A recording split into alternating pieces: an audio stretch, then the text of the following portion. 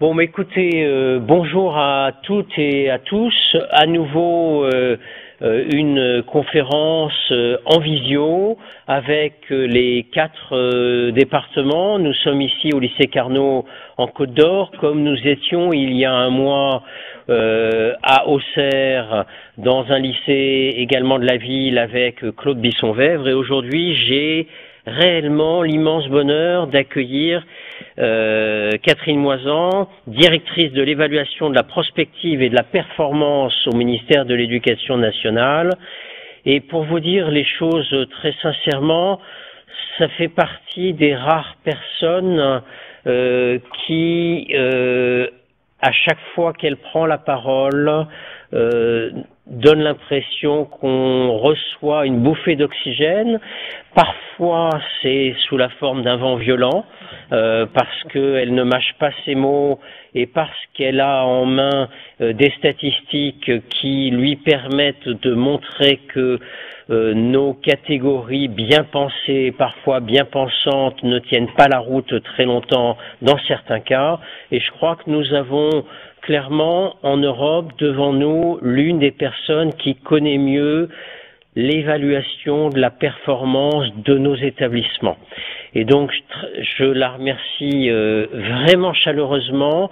Vous savez que cette conférence non seulement est diffusée sur euh, les quatre départements de l'académie, que vous aurez la possibilité, comme à chaque fois, de poser des questions à l'intervenante, mais qu'elle est également enregistrée et il faut le faire savoir, c'est-à-dire que c'est du matériau que tout le monde peut revoir sur Internet, sur le site du rectorat, quand il le souhaite, euh, y compris nuitamment euh, quand on a fini le reste des activités.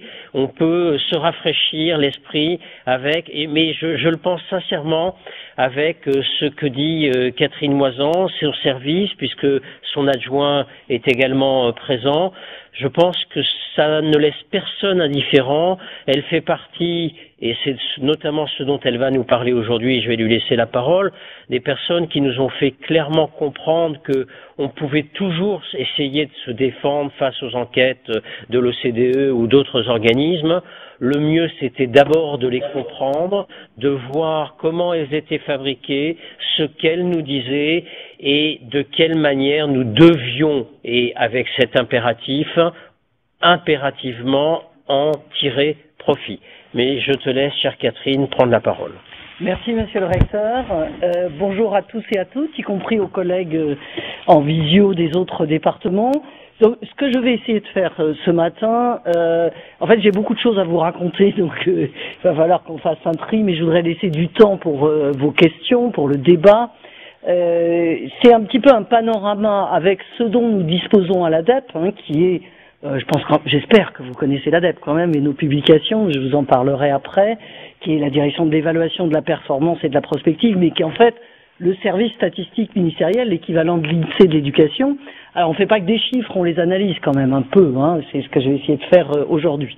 Alors pour faire ce, ce panorama de, de, où en est notre système éducatif français, qui est un tout à fait euh, à du jour dans l'actualité euh, aujourd'hui, euh, on va commencer, je vais essayer de le faire en quatre points en quelque sorte.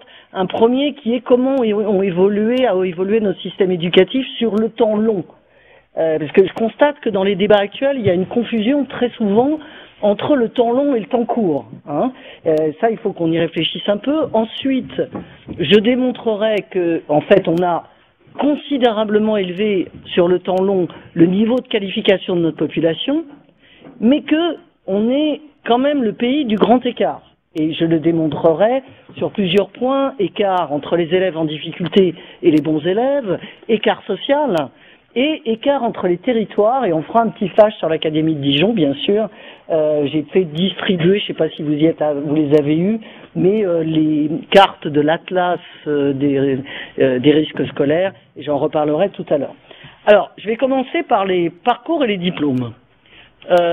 Cette courbe-là, vous avez là, depuis 76-78, c'est-à-dire depuis sur un temps long, hein, là on est vraiment sur 40 ans, la courbe en rouge, c'est la courbe de euh, pourcentage des jeunes français enfin de notre pays, de 18 à 24 ans qui n'ont aucun diplôme. Le brevet n'est pas un diplôme. C'est un examen, mais ce n'est pas un diplôme. Et la courbe en vert, c'est le pourcentage de bacheliers dans une génération. C'est pas le taux de réussite au bac, hein, parce que le taux de réussite au bac, c'est assez facile. Si vous voulez avoir 100%, vous enlevez les élèves en difficulté, vous les présentez pas au bac et vous avez 100%. Donc ce n'est pas un bon indicateur. Donc on prend le taux de, le pourcentage de bacheliers dans une génération avec tous les âges. Vous savez qu'on passe le bac jusqu'à 90 ans, mais c'est tout petit et on arrive comme ça à évaluer, y compris ceux qui ne passent pas le bac. Alors, ce qui est très intéressant dans ces deux courbes, qui montrent une évolution, une évolution extraordinaire de notre système, c'est que vous voyez que, en gros, entre 85 et 95, c'est-à-dire sur ces dix années-là, on a doublé le pourcentage de bacheliers dans une génération. Doublé. On est passé de 30 à 60. Ensuite, on est resté sur un palier. Et à la fin, on recommence à augmenter grâce en particulier au baccalauréat professionnel. Euh, entre avant et après la réforme du bac pro, on a 70 000 bacheliers professionnels de plus. Ce qui est très intéressant aussi, c'est que la courbe des 100 diplômes, elle, elle diminue très fortement au même moment. Et là, on va dire qu'elle rame un peu, quoi. Hein? On est autour euh, de 10-11% actuellement. Ça veut dire qu'on a 10-11% de nos jeunes de 18 à 24 ans qui n'ont aucun diplôme, c'est l'indicateur européen. Hein. Pas de diplôme et qui ne sont pas en formation. Ce qui est fabuleux, c'est l'endroit où elles se croisent. Parce que regardez quand même, à la fin des années 70, il y avait 40% de jeunes de 18 à 24 ans qui, étaient sans diplôme et qui bien plus que les bacheliers. Mais j'y reviendrai sur la situation de l'emploi économique, les besoins, euh, je veux dire, sur le marché du travail, n'étaient pas les mêmes à ce moment-là et bien sûr dans les années antérieures. Alors ensuite, petit flash quand même sur le pourcentage de bacheliers dans une génération. Là, c'est depuis 70. Là, j'ai distingué les trois. Euh, pour moi, il y en a que deux, mais enfin bon, général, technologique et professionnel. Alors, il y a un petit truc en haut sur le pro, mais c'est assez, pour ceux qui connaissent, c'est simplement qu'il y a une année, deux générations, euh, deux générations dans le baccalauréat professionnel, ceux qui le passaient encore en quatre ans et ceux qui le passaient en trois ans, et donc ça a fait un petit pic. Ce qui est très important, c'est la dernière année, où là, on a vraiment des bacheliers trois ans. Donc vous voyez l'augmentation, vous voyez aussi, contrairement euh, aux idées reçues, que l'augmentation considérable entre 85 et 95, c'est pas seulement le bac technologique et le bac pro, c'est aussi le bac général. Hein. Et juste une petite remarque en passant, euh, cette augmentation entre 85 et 95, c'est le résultat en particulier de la marche longue et difficile vers le collège unique. Hein. C'est-à-dire les causes de cette augmentation, elles sont à voir avant. Hein, et il y a bien sûr aussi l'action des lycées qui ont su, en grognant, mais ils ont su quand même accueillir cette population et la faire réussir. Alors aujourd'hui, finalement aujourd'hui, que produit notre système éducatif en matière de diplôme? Ça, on le mesure avec l'enquête emploi de l'INSEE, Parmi les jeunes qui sont sortis dans les années 2010, 2011, 2012, on aura bientôt euh, une année de plus. Vous en avez 43% qui sortent avec un diplôme d'enseignement supérieur et 15% qui sortent sans diplôme autre que le brevet, mais qui, je le rappelle, n'est pas un diplôme. Alors, 43% de l'enseignement supérieur, je rappelle que l'objectif européen c'est 40%, on l'a dépassé, mais nous, nous en France, on s'est mis un objectif à 50%. Donc on a encore du boulot pour l'atteindre. Il y en a 28% qui sortent comme plus haut diplôme le baccalauréat ou équivalent, et 14% qui sortent avec un CAP ou un BEP et pas plus. Ça, comment ça, ça bouge actuellement depuis plusieurs années? En fait, ça bouge à l'intérieur, c'est-à-dire que le niveau de qualification augmente entre ce qu'on appelle le niveau 5 CAP et le bac pro, au bénéfice du bac pro, qui est très bien, parce que le marché du travail a plus besoin de bacheliers professionnels que de niveau 5. Par contre, ça bouge très lentement sur l'enseignement supérieur, un petit peu, mais surtout, ça bouge très peu sur le chiffre du bas. Les 15%, là, c'est 140 000 jeunes tous les ans. Hein. 140 000 jeunes tous les ans. Juste un petit truc là-dessus, euh, il y, en a 140 000 qui sortent comme ça tous les ans de formation initiale. Je compte les apprentis, y compris ceux qui sont en lycée agricole et tout le monde.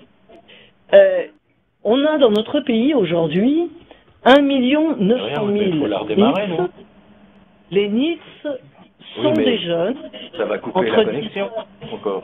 et euh, à peu près 20, 30 ans qui sont ni, en, ni en formation, ni, je veux dire, à l'école. Ah ben oui, ben nous c'est ça. Ni en, ni en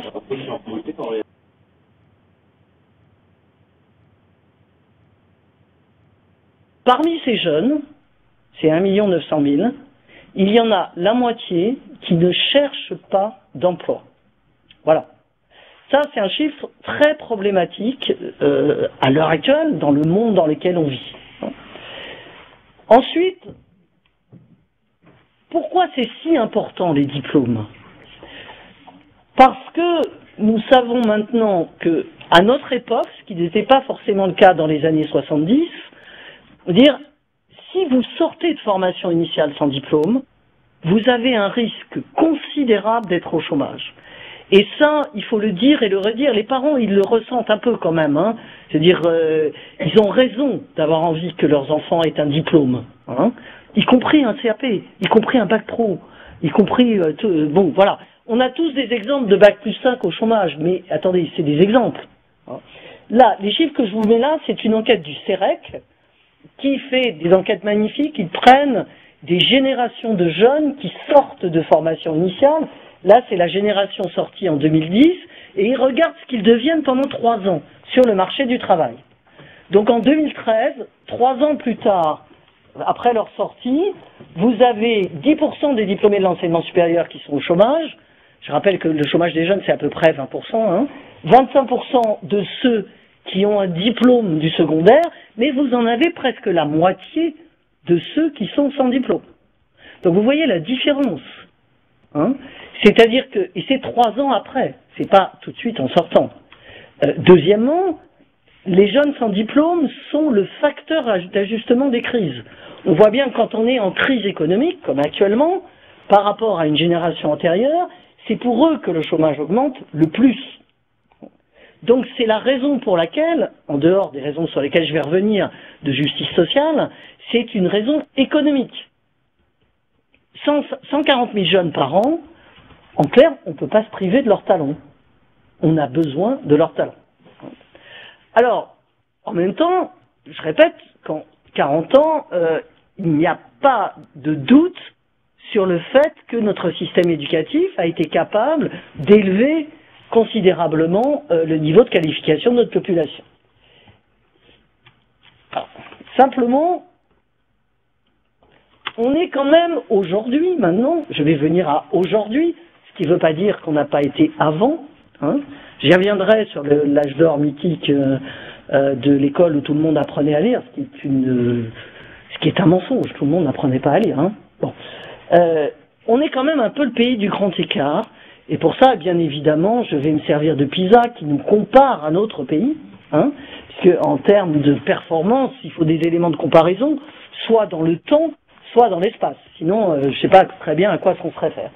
Donc on est le pays du grand écart et je vais essayer de le démontrer entre nos bons élèves qui sont très très bons en fait et nos élèves en difficulté, entre les élèves favorisés et défavorisés socialement et entre les territoires.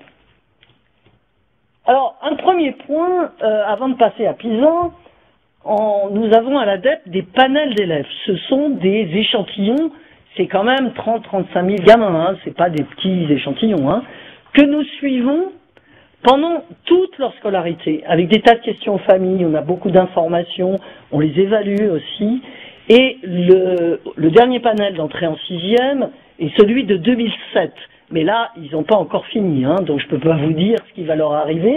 Par contre, celui de 95 est extrêmement intéressant parce qu'eux, ils ont fini. Hein.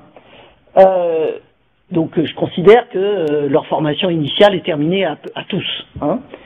Et là, on voit que parmi les enfants d'enseignants qui sont entrés en sixième en 95, Aujourd'hui, 76, les trois quarts d'entre eux ont un diplôme d'enseignement supérieur, donc quand même presque 40% avec un bac plus 5, et 6% n'ont aucun diplôme, autre que le brevet.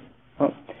Si je prends les ouvriers non qualifiés, pas les ouvriers, les ouvriers non qualifiés, qui est la, catégorie sociale en matière scolaire la plus opposée, 20% ont un diplôme d'enseignement supérieur, donc 4% seulement en bac plus 5, et le tiers d'entre eux n'ont pas de diplôme. Bon. Donc ça, ça montre que notre système produit encore une inégalité sociale très forte. Attention à un truc, je veux dire, il le produisait avant. Quand vous aviez les classes de fin d'études et que tout le monde n'était pas en sixième, vous imaginez bien, il y a des articles qui, ont été publiés dans notre revue, que, je veux dire, l'inégalité sociale sur l'entrée en sixième était majeure, mais elle se faisait là. Et encore une fois, à cette époque-là, arriver sur le marché du travail sans diplôme, en sachant pas très bien lire, c'était quand même pas le même sujet qu'aujourd'hui, y compris pour des métiers euh, que l'on peut dans lesquels on peut s'insérer avec un baccalauréat professionnel. Vous voyez le niveau du bac pro maintenant. Si vous ne savez pas un minimum de choses avant, euh, ça va quand même être dur. Bon. Alors je vais en venir à PISA. PISA a été passé en 2012. Euh, PISA mesure les compétences des élèves de 15 ans révolus dans en fait 65 pays maintenant, hein, mais c'est piloté par le CDE et les résultats de PISA ont été euh, publiés en décembre 2013. Euh, peut-être un mot quand même, PISA, c'est tous les trois ans depuis 2000. Euh, c'est en compréhension d'écrit, culture scientifique et culture mathématique. Et tous les neuf ans, on peut comparer longitudinalement ce qui se passe. Par exemple, là, c'était les maths en 2012. Donc, on peut comparer les maths entre 2003 et 2012. Alors, qui sont les élèves de 15 ans concernés en France euh, Une génération qui n'est pas un niveau scolaire. On ne va pas dire c'est les élèves de seconde ou de troisième. Ça n'aurait pas de sens en Corée du Sud ou euh, même en Allemagne. Hein. Donc, nos élèves de 15 ans révolus, donc ils ont, euh, au moment où passe une grande partie à 16 ans, ils sont à 60% d'entre eux, je veux dire, dans le second cycle, il y en a euh, 57% qui sont en voie générale et technologique et 11% qui sont en voie euh, professionnelle, mais il y en a encore 30% qui sont au collège. C'est-à-dire qui ont pris du retard par rapport à leur âge. Alors, il y a, euh, il y a euh, trois, en 2003, c'était 40%. Hein. on a progressé, mais on est quand même encore dans les derniers de l'OCDE sur le retard scolaire. Hein. Mais on a progressé, on a progressé. Euh, on a diminué le redoublement. Alors, qu'est-ce que mesure PISA? C'est important parce que PISA ne peut pas mesurer des compétences ou des connaissances en référence au programme français. Vous imaginez les Anglais. Euh, bon. Donc, PISA est construit par des experts régulièrement. C'est extrêmement sérieux en termes de psychométrie.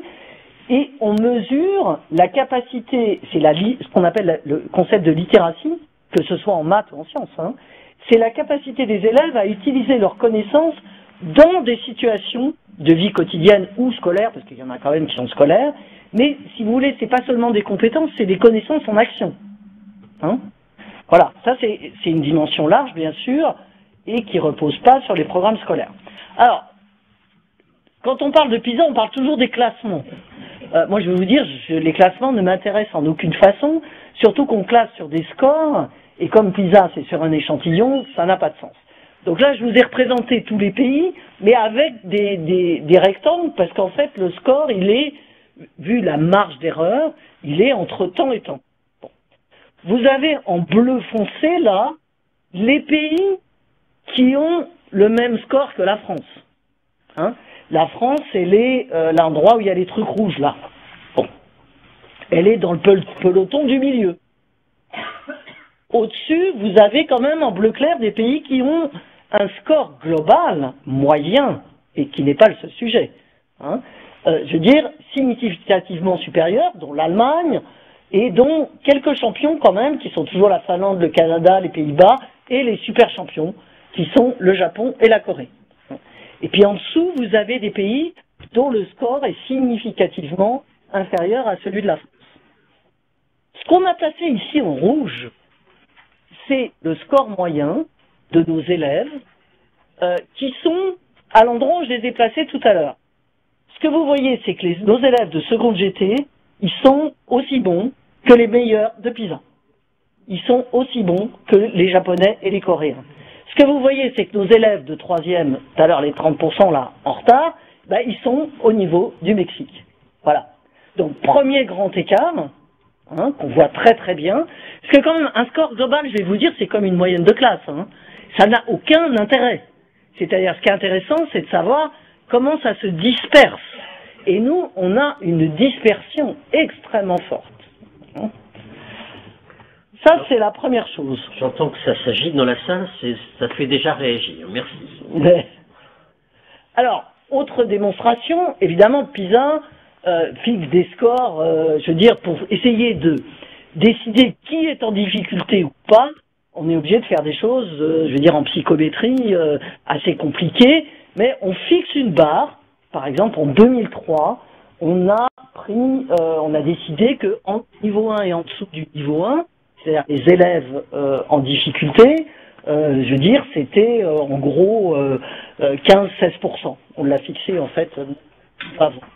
On garde cette fixation de score et on regarde est-ce que le nombre d'élèves, le pourcentage d'élèves concernés, il augmente ou il diminue? Vous voyez, on fixe le score et on regarde comment ça évolue. Donc à gauche là-bas, vous avez les élèves vraiment en difficulté et à droite, les très bons. Hein? En fait, ce qui se passe en France, et en bleu clair, vous avez 2003, en maths, hein, toujours, on est en maths là, hein, et en bleu foncé, vous avez 2012. Ah, ce qu'on voit très clairement, c'est que le pourcentage d'élèves en difficulté en maths a significativement augmenté en 9 ans, et en fait là, c'est pas très significatif. En gros, ils sont stables. En 2009, c'était compréhension de l'écrit, les deux groupes extrêmes avaient augmenté. Donc ça veut dire qu'on a, si notre score est pas fabuleux, on est dans la moyenne de l'OCDE, ce qui toujours nous pose, on se dit toujours, on est combien? Mais non, attendez, on n'a pas un score fabuleux, mais la vraie question, c'est qu'en fait, notre score, il pose problème parce que notre nombre d'élèves en difficulté augmente. C'est pas parce que tout le monde, euh, je veux dire, voilà. Alors, petit truc quand même, en passant, hein, euh, sur les maths, euh, on a, on pose des questions aux élèves dans PISA, plein de questions. Et il y en a une en particulier qui est intéressante, c'est que nos élèves sont très anxieux sur les mathématiques. Euh, je veux dire, bon, il y en a d'autres qui sont anxieux, hein. Mexique, Chili, mais surtout le Japon et la Corée sont très anxieux. Les, champions de PISA, les champions absolus, moi, je ne les considère pas trop quand même comme une référence, on y reviendra, parce que c'est au prix d'une anxiété euh, des élèves très forte. Ceci dit, nos gamins sont très anxieux. Euh, je m'inquiète souvent en pensant que j'aurai des difficultés au cours de maths, plus que la moyenne d'OCDE. Je suis très tendu quand j'ai un devoir de maths à faire, je deviens nerveux quand je fais des problèmes de maths, je me sens perdu, je m'inquiète à l'idée d'avoir des mauvaises notes en maths. Alors là, on est très significativement au-dessus de la moyenne de l'OCDE. Il y a une vraie question, on en parlera tout à l'heure. L'anxiété, c'est bien, ça fait de l'adrénaline, mais vraiment, est-ce que c'est le seul moyen d'apprendre? Hein Alors, le résultat majeur de PISA, c'est celui-là. Là, je vais vous expliquer ce graphique.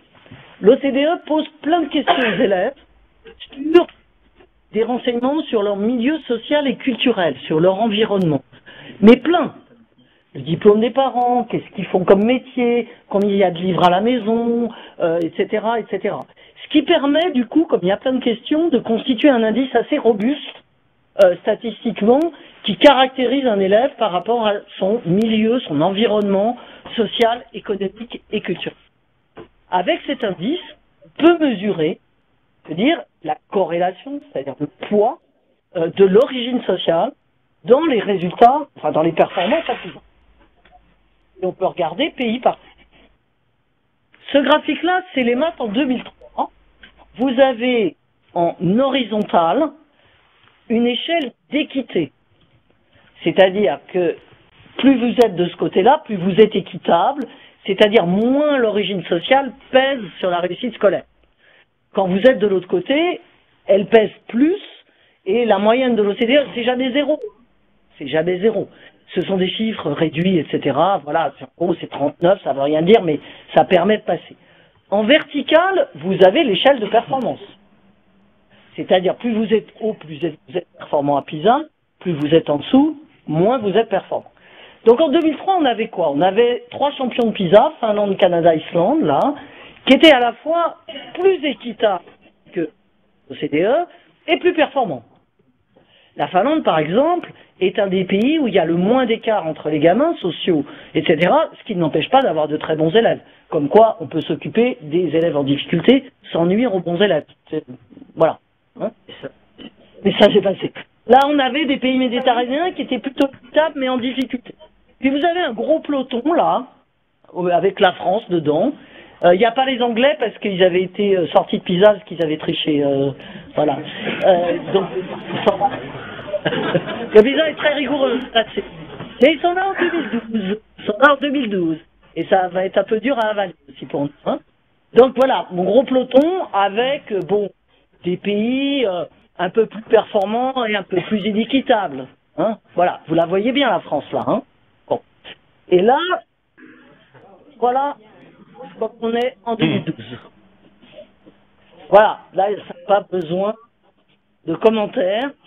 Nous sommes le pays de l'OCDE où le poids du déterminisme social pèse le plus sur la réussite scolaire des élèves.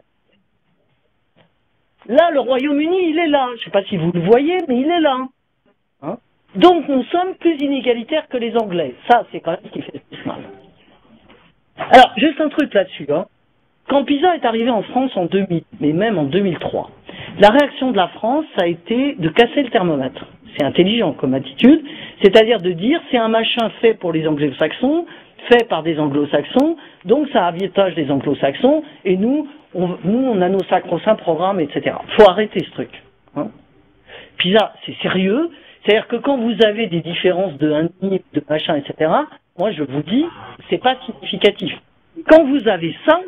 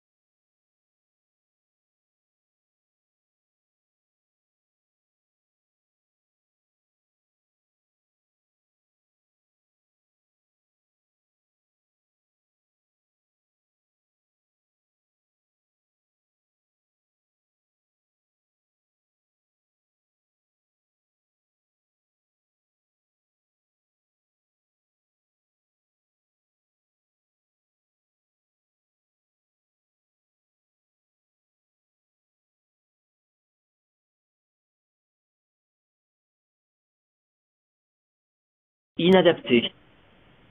Moi, j'aime bien les papouttes.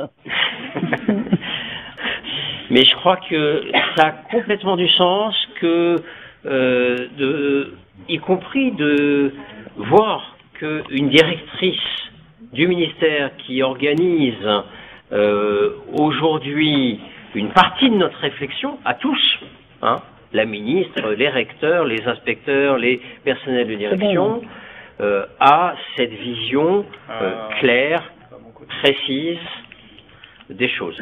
Alors, pour les sites qui nous ont rejoints à distance, on a eu une coupure d'électricité à Dijon. Bon, ben, donc, nous avons interrompu la conférence de manière à ce que euh, nous ayons la même information au même moment et on attend juste que euh, les choses se relancent.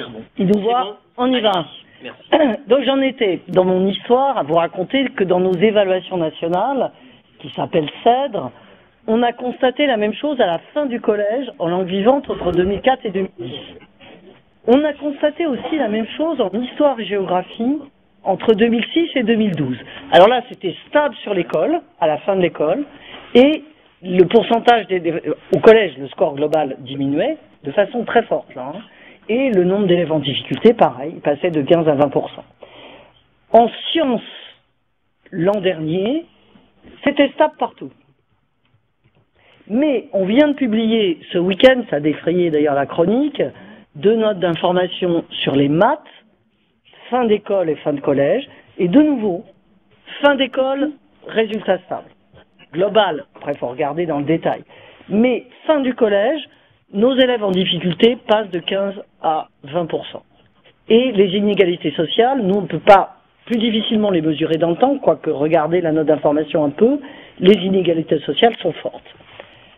Donc ça, c'est pour montrer qu'on a plusieurs outils très différents parce que ça, ça, s'inspire un peu des programmes quand même, hein donc qui convergent vers le même résultat. Ce qui est important scientifiquement, je veux dire, il n'y a pas qu'une seule source. Alors, une petite histoire sur PISA. Je vais rentrer dans la pédagogie maintenant. Il y a les gros PISA dont tout le monde parle, les cris, etc. Et euh, l'OCDE a inventé un truc très intéressant qui s'appelle PISA résolution de problèmes. C'est pas du tout des maths c'est pas du tout des maths. C'est de la résolution de problèmes, c'est-à-dire qui mesure des compétences des élèves pour raisonner, faire des essais-erreurs, euh, aller jusqu'au bout pour trouver une solution, écrire la solution, qui veut dire qu'il y a de l'écrit.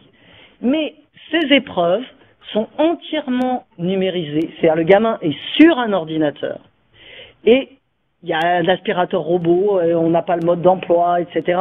C'est pas de la technologie, hein, c'est pas des maths, c'est rien qui ressemble à, ça ne ressemble pas à ce qu'on fait à l'école.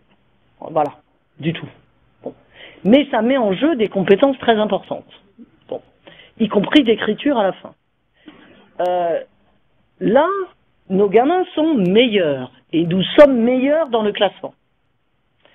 Ensuite, il y a moins de corrélation, il y a moins d'écart entre les difficultés, etc il y a moins de corrélation avec le niveau social.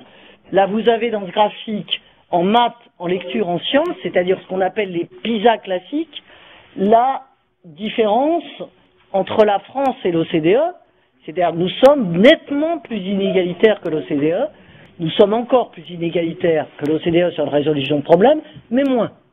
Bon.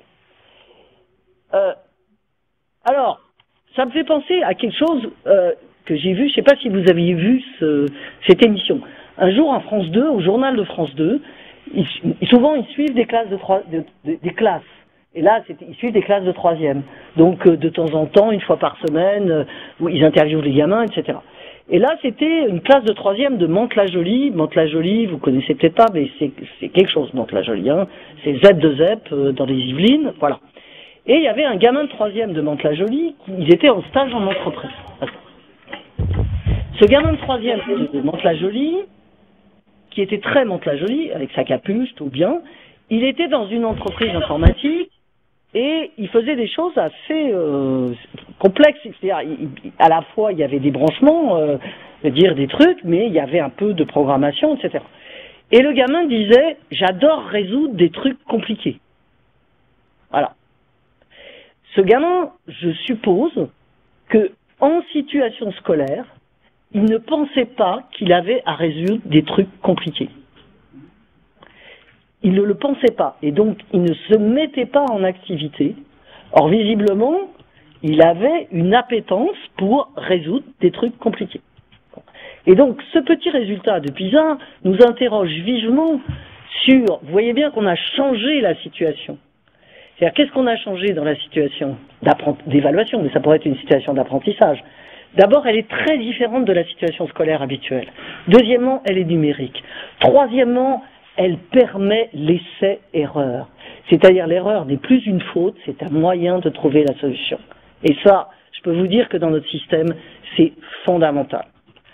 Donc, ce que PISA nous enseigne, c'est ça, c'est nous sommes le pays le plus inégalitaire d'Europe, on y reviendra, parce que moi je voudrais bien savoir pourquoi nous ne nous comparons pas à la Corée et au Japon, on est d'accord.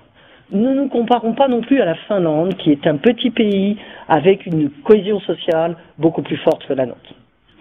Mais on va prendre l'Allemagne et le Royaume-Uni.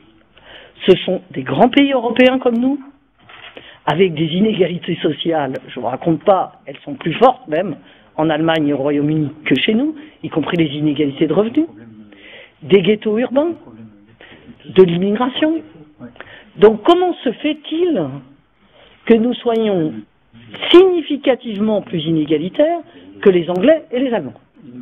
Ça veut dire qu'il y a une très grosse question dans euh, notre modèle éducatif lui-même, hein, et notre modèle pédagogique.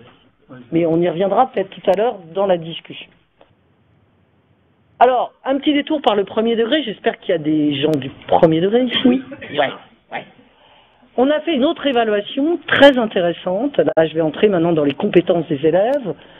On a, grâce à nos panels, parce qu'on a aussi des panels de petits qui entrent au CP, on a pu mesurer l'évolution des acquis des élèves en tout début de CP, en septembre, octobre, hein, entre, à 14 ans d'intervalle, entre 97 et 2011. Qu'est-ce qu'on a évalué? Parce qu'il faut toujours dire ce qu'on a évalué et ce qu'on n'a pas évalué. On a évalué des choses qui relèvent du code en lecture. Enfin, du pré-code, on va dire. La phonologie, euh, je veux dire, l'écriture, lettres et mots simples, vous avez là des petites compréhensions orales, euh, de la numération aussi, euh, du repérage dans le temps, de la prélecture, ceux qui sont dans le premier degré connaissent, hein, mots et pseudomots, MIDA par exemple, de l'identification de nombres, etc. Mais évidemment, il y a une chose qu'on n'a pas évaluée, c'est l'expression orale des petits, parce que vous imaginez bien que évaluer l'expression orale, ça, c'est une autre paire de manches pour les tests. Donc on a évalué ça. Il se trouve je vous donne quelques exemples. Hein. Là, c'est un item dans phonologie. Sur le premier item, je veux dire, on regarde les images, etc. Euh, la, maîtresse lit, euh, dit les noms, hein, et il faut entourer celui qui ne commence pas pareil. Euh, en dessous, il est un peu plus dur parce que si on enlève le son creux, qu'est-ce que ça fait? Là, c'est un petit item sur les nombres, exercice de dénombrement ou de numérotage, suivant le débat. Voilà, il faut faire correspondre les deux avec des tas de choses que la CIT explique, hein, que la prof d'école explique. On a un résultat fabuleux, c'est-à-dire en 14 ans d'intervalle, là, je vous le présente sous forme de courbe, en bleu, vous avez la courbe des scores en 97, en rouge, vous avez la courbe des scores en 2011. Donc vous voyez que c'est décalé vers la droite, donc le score sont nettement meilleurs, et en plus, elle est plus rétrécie, ça veut dire qu'il y a moins d'écart. Donc c'est un résultat extraordinaire. Hein. Alors, en plus, ils ont progressé sur tous les items, y compris le repérage dans le temps, etc. Alors, il y a peut-être un facteur sociologique, parce que la population des parents, entre 97 et 2011, elle a changé. Je donne juste hein, un petit truc. Les mères de famille diplômées de l'enseignement supérieur, le nombre a doublé en 14 ans il est passé à nettement plus de 40%, puisque les filles sont plus diplômées que les garçons, hein, au cas où on ne saurait pas. Donc ils est passé 40%, ils étaient que moins de 30%. Et on a évalué que cet effet sociologique explique à peu près euh, un, je veux dire un quart, un tiers de cette évolution. Mais il reste tout le reste. Alors ça, il y a des tas d'explications, euh, l'attention qu'on a portée au code, etc. Je veux dire, c'est un résultat, ce qui veut dire quand même qu'on peut lutter contre l'inégalité sociale, hein, sur ces compétences-là. Mais peut-on lire sans décoder? Ben non. voilà. Alors, ensuite, on a repris, je dis pas tout à fait les mêmes élèves, mais des échantillons représentatifs, et on a regardé deux ans plus tard au CE2. Vous voyez l'idée C'est-à-dire, les gamins, ils sont en CP en 97, je regarde deux ans plus tard, là j'ai un problème avec l'air doublant, mais ça on se débrouille, on fait des stats dessus, et je regarde deux ans plus tard aussi.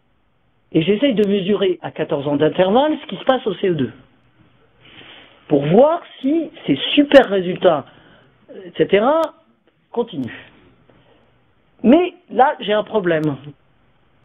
C'est-à-dire, en gros, c'est stable et il y a des endroits où il y a une petite régression et voilà.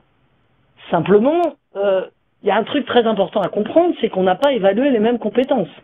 Parce que par exemple, en CE2, on va évaluer un début de compréhension de texte. Un début de compréhension de texte, ça va mettre en jeu autre chose que le code. Ça va mettre en jeu la maîtrise de la langue, c'est-à-dire la syntaxe, le vocabulaire, etc. Et puis, on a évalué un peu d'orthographe, quoi. Et puis, on a évalué des petits problèmes en maths, et ça, je vais y revenir. Donc là, vous avez... Mais je vais vous montrer des items parce que c'est quand même nettement plus rigolo. Sur le décodage, le code, il n'y a pas de sujet parce que, vous voyez, les mots, qu'on demande de décoder euh, dans le test aux gamins de CE2, vous avez presque 90% de réussite. Sur le code, pas de sujet.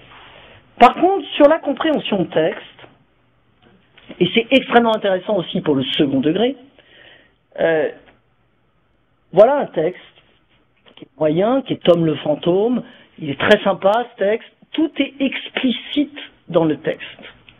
C'est-à-dire, si vous voyez, au fond d'un couloir, sans marche de pierre mène à une cave noire, si vous posez une question, où est, où sont, euh, où est la cave ou machin, etc., c'est marqué dans le texte. Là, on n'a pas de dégradation et d'assez bons résultats. Pas tous les gamins, quand même. Hein. Mais voilà un truc absolument extraordinaire, qui devrait faire réfléchir aussi tous les profs du second degré. Vous avez une ardoise qui dit Claude, quand Dominique sera rentré à la maison, dis-lui de vite se préparer, soyez prête lorsque nous arriverons. Ce texte est très court, situation quotidienne, bourré d'implicites. Première question, euh, dans quel ordre toutes les personnes doivent-elles rentrer à la maison? Avec le texte, vous le savez. Là, le score, qui était de 58% en 99, il passe à 50 en 2013. Qui a pu signer ce message? Là, ça diminue un peu. À qui ce petit mot était-il adressé? Là, c'est stable à 70%, là, ça va. Dominique, est-ce un garçon ou une fille? Ah Là, ça rame. Et Claude est un garçon une fille, là, c'est la cata. Voilà. Donc, c'est extraordinaire sur l'implicite dans un texte.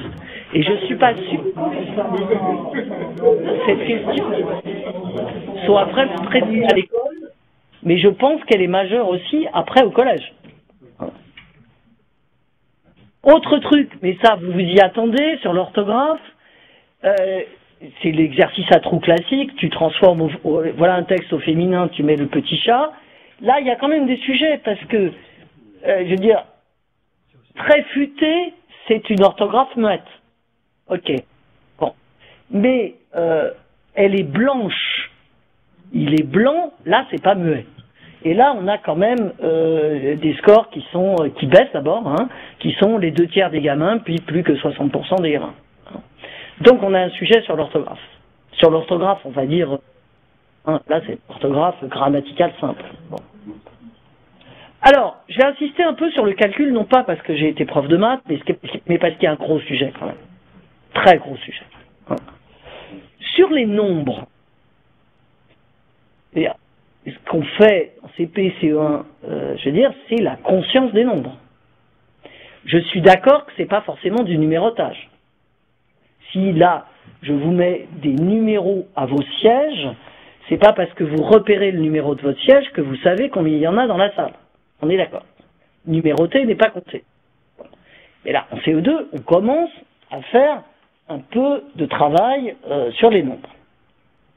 Alors, un exercice comme ça entoure l'écriture qui désigne le nombre le plus grand. Là, vous avez un gamin qui n'y arrive pas du tout. Pourquoi il n'y arrive pas? C'est parce que pour lui, 200 plus 70 plus 5, c'est pas un nombre. C'est une addition qu'il faut faire. C'est-à-dire, quand on rencontre ça, il faut calculer. Et donc, pour lui, c'est pas un nombre. Et donc, il est complètement bloqué parce qu'il va aller comparer au milieu, etc. Donc ça, c'est une vraie question de conscience du nombre, c'est-à-dire un nombre, ça peut s'écrire de tas de façons différentes, c'est-à-dire 12, bah, c'est 3 fois 4, c'est 4 plus 4 plus 4, etc. Et ça, on le fait insuffisamment. Ça, c'est la soustraction qui, elle, dont, sur la performance augmente parce qu'elle n'était pas au programme en, 90, en 99 et elle l'est maintenant. Mais je voulais vous montrer ça euh, parce que je vais vous dire pourquoi ça concerne à la fois le premier et le second degré. C'est que il y a deux façons. Celle-là, elle est sans retenue. Oui, ça, ça va. Sans retenue, c'est pas rigolo. Et soustraction à retenue. Bon, il y a deux façons de faire une soustraction avec retenue. Vous avez une méthode qui est le maintien des écarts. C'est-à-dire, je ne peux pas enlever 7 de 5, donc je mets une dizaine en haut, et du coup, je mets une dizaine en bas. En fait, ça vient de la propriété mathématique, que quand vous soustrayez un nombre d'un autre nombre, si vous ajoutez la même chose, le résultat est le même. L'autre méthode, c'est je casse la dizaine. C'est-à-dire, je dis, je ne peux pas enlever 7 de 5, mais 45, ça s'écrit 30 plus 15, ce qui est parfaitement exact. Donc je casse la dizaine à côté, donc je mets ma retenue, et à la place du 4, je mets un 3. C'est tout aussi bon. Le vrai sujet, c'est est-ce que les profs d'école, quand ils choisissent une ou deux méthodes, est-ce qu'ils sont conscients de ce qu'il y a derrière? Je pense que non. Parce qu'on a un énorme sujet, qui est que les profs d'école, dans leur majorité, ils n'ont pas vraiment été copains avec les maths, hein, pas vraiment. Ils ont éventuellement souffert en maths, ils n'ont pas forcément eu de très bons résultats, et il y a un très gros sujet sur leur culture mathématique. Je ne dis pas sur leur capacité à résoudre des équations du second degré. Je m'en fous complètement. Donc, le vrai sujet, là, il est double. C'est comment allons-nous réconcilier nos profs d'école avec les maths dans les SP hein, et en formation continue. Et ça, ça concerne aussi les cadres qui sont là, c'est-à-dire les IEN, et comment faire pour que on donne plus d'appétit en maths à nos jeunes au collège et au lycée pour qu'ils arrêtent, comme qu'on a vu dans Pisa, de le vivre quand même comme un truc euh, qui est un peu pénible, qu'il faut faire parce que c'est important. Hein voilà, parce que en plus on a une crise de recrutement de profs de maths, etc. Enfin, il y a, y a un très gros sujet.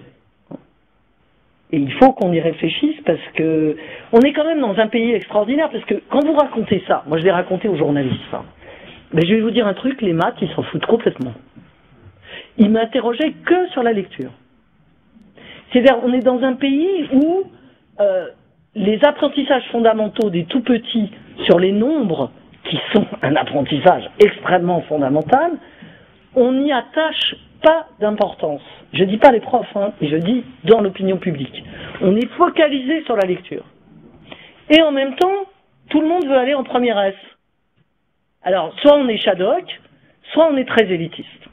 Je vous laisse le choix du vocabulaire, hein, mais on est l'un ou l'autre, quoi. Dire, en Chine, je peux vous dire que l'opinion publique chinoise, les parents, etc., s'intéressent autant, je veux dire, aux, premières compétences des petits sur le calcul que sur la lecture. Et pourtant, la lecture de l'écriture chinoise et l'écriture, faut quand même s'accrocher.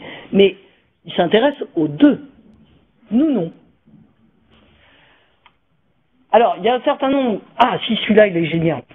Ça, vous avez un petit problème, début de CO2. Hein. Vous avez la directrice de l'école à 87 lettres à envoyer. Elle doit mettre un timbre sur chaque lettre. Les timbres sont vendus par carnet de 10 timbres. Combien il faut de carnet Ce n'est pas un exercice de division à poser. Hein. D'accord. On est clairement sur le système décimal, hein, puisque c'est des carnets de 10 timbres. Alors, le score est passé de 32 à 18%, hein, quand même. Bon. Vous avez, premier, premier gamin, il fait ça, il n'y arrive pas, quoi, il finit par soustraire. Ça, c'est un gamin qui ne maîtrise pas le système décimal. Il n'y arrive pas. Deuxième gamin, eux, ils ont deux stratégies qui sont pas mal quand même. Il y en a un qui dit 10 plus 10 plus 10 plus 10 plus 10, et j'ai quand même encore besoin d'un passé de 10, machin, il barre le 7, il se débrouille, il dit ouais 9, c'est bon. Là, celui-là, il entoure ses 10, il touche, il arrive à 80, il dit j'en ai pas assez, donc il va falloir 90. Mais il y en a un qui est génial. Celui-là, si les petits cochons se mangent pas, il va être euh, médaille fils, quoi. Voilà. Alors lui, il fait ses paquets de timbres. 10, 10, 10, 10, 10. Et puis son dernier paquet de timbres, il entoure le 7. Hein? Il sait, il fait son paquet de 10 timbres, il enlève les 3, il monte les 7 et il met une légende. Voilà. Ça, c'est extraordinaire. C'est extraordinaire.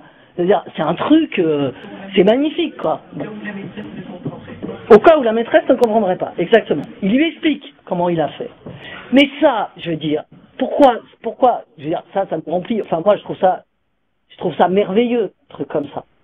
Mais quand est-ce que, je pense qu'à l'école, on le fait, de regarder, enfin, j'espère qu'on fait, qu'on regarde ce qu'on fait le gamin. Mais est-ce qu'au collège et au lycée, on regarde ce qu'on fait? Le gamin Non, pas assez. dire, d'abord, on n'a pas les traces. On a des copies que l'on corrige et dans lesquelles, dans la marge, on met des points. Voilà, là c'est faux, là c'est juste. Alors, ce qui est très intéressant, même ceux qui y arrivent, c'est pas que les élèves en difficulté, c'est de regarder comment ils y sont arrivés et même peut-être éventuellement de partager entre élèves la façon dont ils y arrivés. Le seul vrai problème, c'est que les élèves qui arrivent à résoudre les exercices, ben, ils font pas tous comme le prof. Ah ouais. Ouais.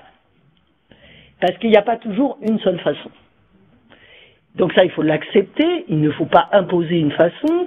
Et la deuxième chose, c'est qu'on a une fixation sur la bonne réponse. Ça va avec l'erreur est une faute. Vous avez tous vu être et avoir, euh, où l'instinct ne peut pas s'empêcher de souffler la réponse. Hein? C'est-à-dire que vous, c'est-à-dire qu'il pose une question et il commence le mot. Bon. Moi, j'ai vu plein de profs faire ça. J'ai dû le faire moi-même aussi. C'est-à-dire que les profs ont des signaux verbaux, mais quelquefois non verbaux, qui montrent que le gamin est en train de dire la bonne réponse ou pas. Il y a plein de choses. Les bons élèves, ils sont très très forts pour décoder sur la tête du prof les signaux non verbaux qui disent que c'est la bonne réponse. Et vous les voyez ajustés en regardant. C'est une compétence. C'est une compétence. Le seul problème, c'est que quand ils vont être dans une situation euh, d'évaluation, d'examen, etc., bah, il n'y aura plus la tête du prof. Hein C'est-à-dire, ils ont mis en jeu une compétence, mais c'est pas forcément celle. Et puis, il y a des gamins qui n'ont aucun décodage du, des signaux verbaux de la tête du prof. Ou bien des gamins qui ont décodage du signal des signaux non verbaux, mais qui vont avoir peur. Parce que ces signaux verbaux, euh, bon, dans être et avoir, ils sont extrêmement bienveillants. Je veux dire, c'est, euh, on souffle pour qu'il y arrive, quoi. Voilà. Mais on est très formaté comme ça, quand même, y compris à l'école. Alors, je passe sur tout le, commentaire euh, de ces grandes études. Vous le retrouverez dans le PowerPoint. C'est que, en fait, ce qu'on peut en conclure, c'est qu'on a fait progresser considérablement les élèves de, nos petits, en fait, hein, en 14 ans sur le code. Ça, c'est sans doute parce qu'il y a eu un très gros travail sur la détection de dans les années 90, que la recherche, c'est, je veux dire, a irrigué le travail des professeurs d'école de maternelle, etc. Et tant mieux. Et je rappelle que dans la conférence de consensus de 2003 sur la, lecture, c'est-à-dire, tous les chercheurs ont dit savoir décoder, c'est-à-dire euh, phonologie, euh, je veux dire euh, euh, relation phonème-graphème et tout ce qu'on sait là-dessus, c'est une condition absolument nécessaire pour devenir un lecteur. Donc oui, il faut continuer dans ce sens. Mais ce n'est pas une condition suffisante. c'est-à-dire un lecteur, un bon décodeur, il faut aussi qu'il comprenne. Et là, on tombe sur un autre sujet qui est la maîtrise de la langue. Et je reprends, c'était la maîtrise de la langue, elle est orale d'abord chez les petits. C'est la syntaxe, vous savez, l'inégalité sociale sur les mots, euh, sur le vocabulaire. Hein. La syntaxe, le, le, je veux dire le vocabulaire, le lexique, qui est un fait majeur. Et ça, on n'a pas pu l'évaluer en maternelle, enfin au début de CP.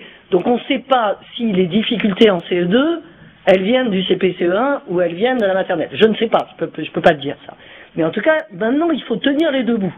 Et la deuxième leçon, c'est qu'il y a un très gros sujet sur la conscience des nombres. Or là, on n'est plus démuni parce que sur la didactique euh, des maths, euh, je veux dire du calcul, hein, des premiers apprentissages, on a actuellement en France beaucoup moins de recherches que euh, sur le code et la compréhension, où là on a des chercheurs et on est au, on n'est pas loin, si vous voulez, du transfert aux formateurs que vous êtes, euh, de façon à ce que ce soit euh, intelligible pour les profs. Parce que c'est ça, hein, la relation recherche-formation-pratique. En maths, on en manque. Donc ça veut dire qu'il faut que les SP s'y mettent beaucoup sur ce sujet. Alors, on va parler un peu du collège, parce que j'ai l'impression que c'est le sujet euh, actuel. non, non. Voilà. Alors, sur le collège, je vous livre un résultat qu'on va en fait euh, publier euh, mardi prochain, mais qui est dans un article un peu compliqué. Bon. Euh, pour l'instant, on avait, comme je vous l'ai montré, des photographies de niveau atteint des élèves à, la fin, du collège. Bon. Ces niveaux atteints à la fin du collège, ils sont statiques. Quand euh, on publie, par exemple, ce qu'on a publié, voilà l'évolution en fin d'école et en fin de collège, on peut pas comparer les deux résultats parce que c'est pas les mêmes gamins et en plus c'est pas les mêmes années. C'est-à-dire ceux qui finissent l'école en 2014, c'est pas les mêmes que ceux qui finissent le collège en 2014. Bon. Là, pour la, c'est pas cette diapo-là. Hein. Pour la première fois, on a dans notre panel d'entrants en sixième 2007 et là, ça y est, ils sont tous à peu près sortis de troisième. On les a évalués, les mêmes gamins, ils sont 35 000, hein, en sixième et en troisième. Les mêmes gamins. Donc, quelles compétences les a-t-on évaluées? On les a évalués en lecture silencieuse. On les a évalués en ce qui s'appelle traitement de phrases lacunaires, c'est-à-dire là, c'est le, les compétences du lexique courant c'est-à-dire remplacer des trous avec un lexique courant. On les a évalués en raisonnement logique pur sur des cartes à jouer, c'est-à-dire situation non scolaire, et on fait sur des cartes à jouer les tests habituels, etc. On les a évalués en maths, avec des trucs, euh, je veux dire, euh, de fin de troisième en maths, géométrie, euh, euh technique opératoire, etc. Et on les a évalués dans un domaine très particulier et très fondamental qui s'appelle la mémoire encyclopédique. C'est quoi la mémoire encyclopédique? C'est l'acquisition par les élèves du vocabulaire scolaire, c'est-à-dire celui qui est dans les manuels, et, c'est le vocabulaire des disciplines. Hein Parce que quand même, ce vocabulaire des disciplines, vous voyez que nous avons une langue d'une polysémie euh, effrénée, mais ce qui est très bien. Hein, je veux dire, euh, vous imaginez le mot sublimation euh, en philo et en physique. Hein vous imaginez le mot facteur dans un texte littéraire en économie, qui va être ceci est un facteur de croissance, et en maths, on veut dire c'est un facteur 3, ça veut dire qu'on multiplie par 3. Bon. Aujourd'hui, qui explique aux gamins que le mot facteur, machin, personne. Donc ça veut dire que le gamin, il faut qu'il s'habitue, ce qui est une compétence très importante, parce que ce vocabulaire spécialisé, il a toute sa légitimité. On ne peut pas accéder aux sciences sans un minimum de vocabulaire scientifique, etc. Donc c'est un apprentissage des codes scolaires majeur. Et plus les gamins sont éloignés avec leur propre lexique, même du lexique courant, plus le chemin à parcourir est grand. Ce qu'on a fait, c'est qu'on a réussi, euh, par une méthode statistique magique, comme seul mes services en ont le secret, euh, à arriver à mesurer, pas sur les mêmes items évidemment, hein, comment je fait progresser.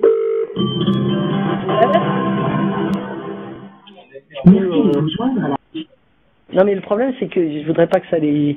Alors, je reprends mes gamins, plutôt que faire la photo d'arrivée, j'essaye de mesurer comment ils ont progressé au collège. Encore une fois, hein, euh, c'est difficile pour nous parce que quand on met des notes aux gamins, on regarde toujours la photo d'arrivée et jamais comment ils ont progressé. Mais là, essayons de le faire. je prends mes gamins de collège, échantillon totalement représentatif, et je regarde comment ils progressent. Et évidemment, je vais le regarder en fonction des catégories sociales des parents, en fonction du diplôme de la mère, qui est très essentiel, en fonction du nombre de livres qu'il y a en la maison, et en fonction du nombre d'activités périscolaires que font les enfants. Alors, je vous ai mis une seule diapo, ça, c'est en fonction du diplôme de la mère.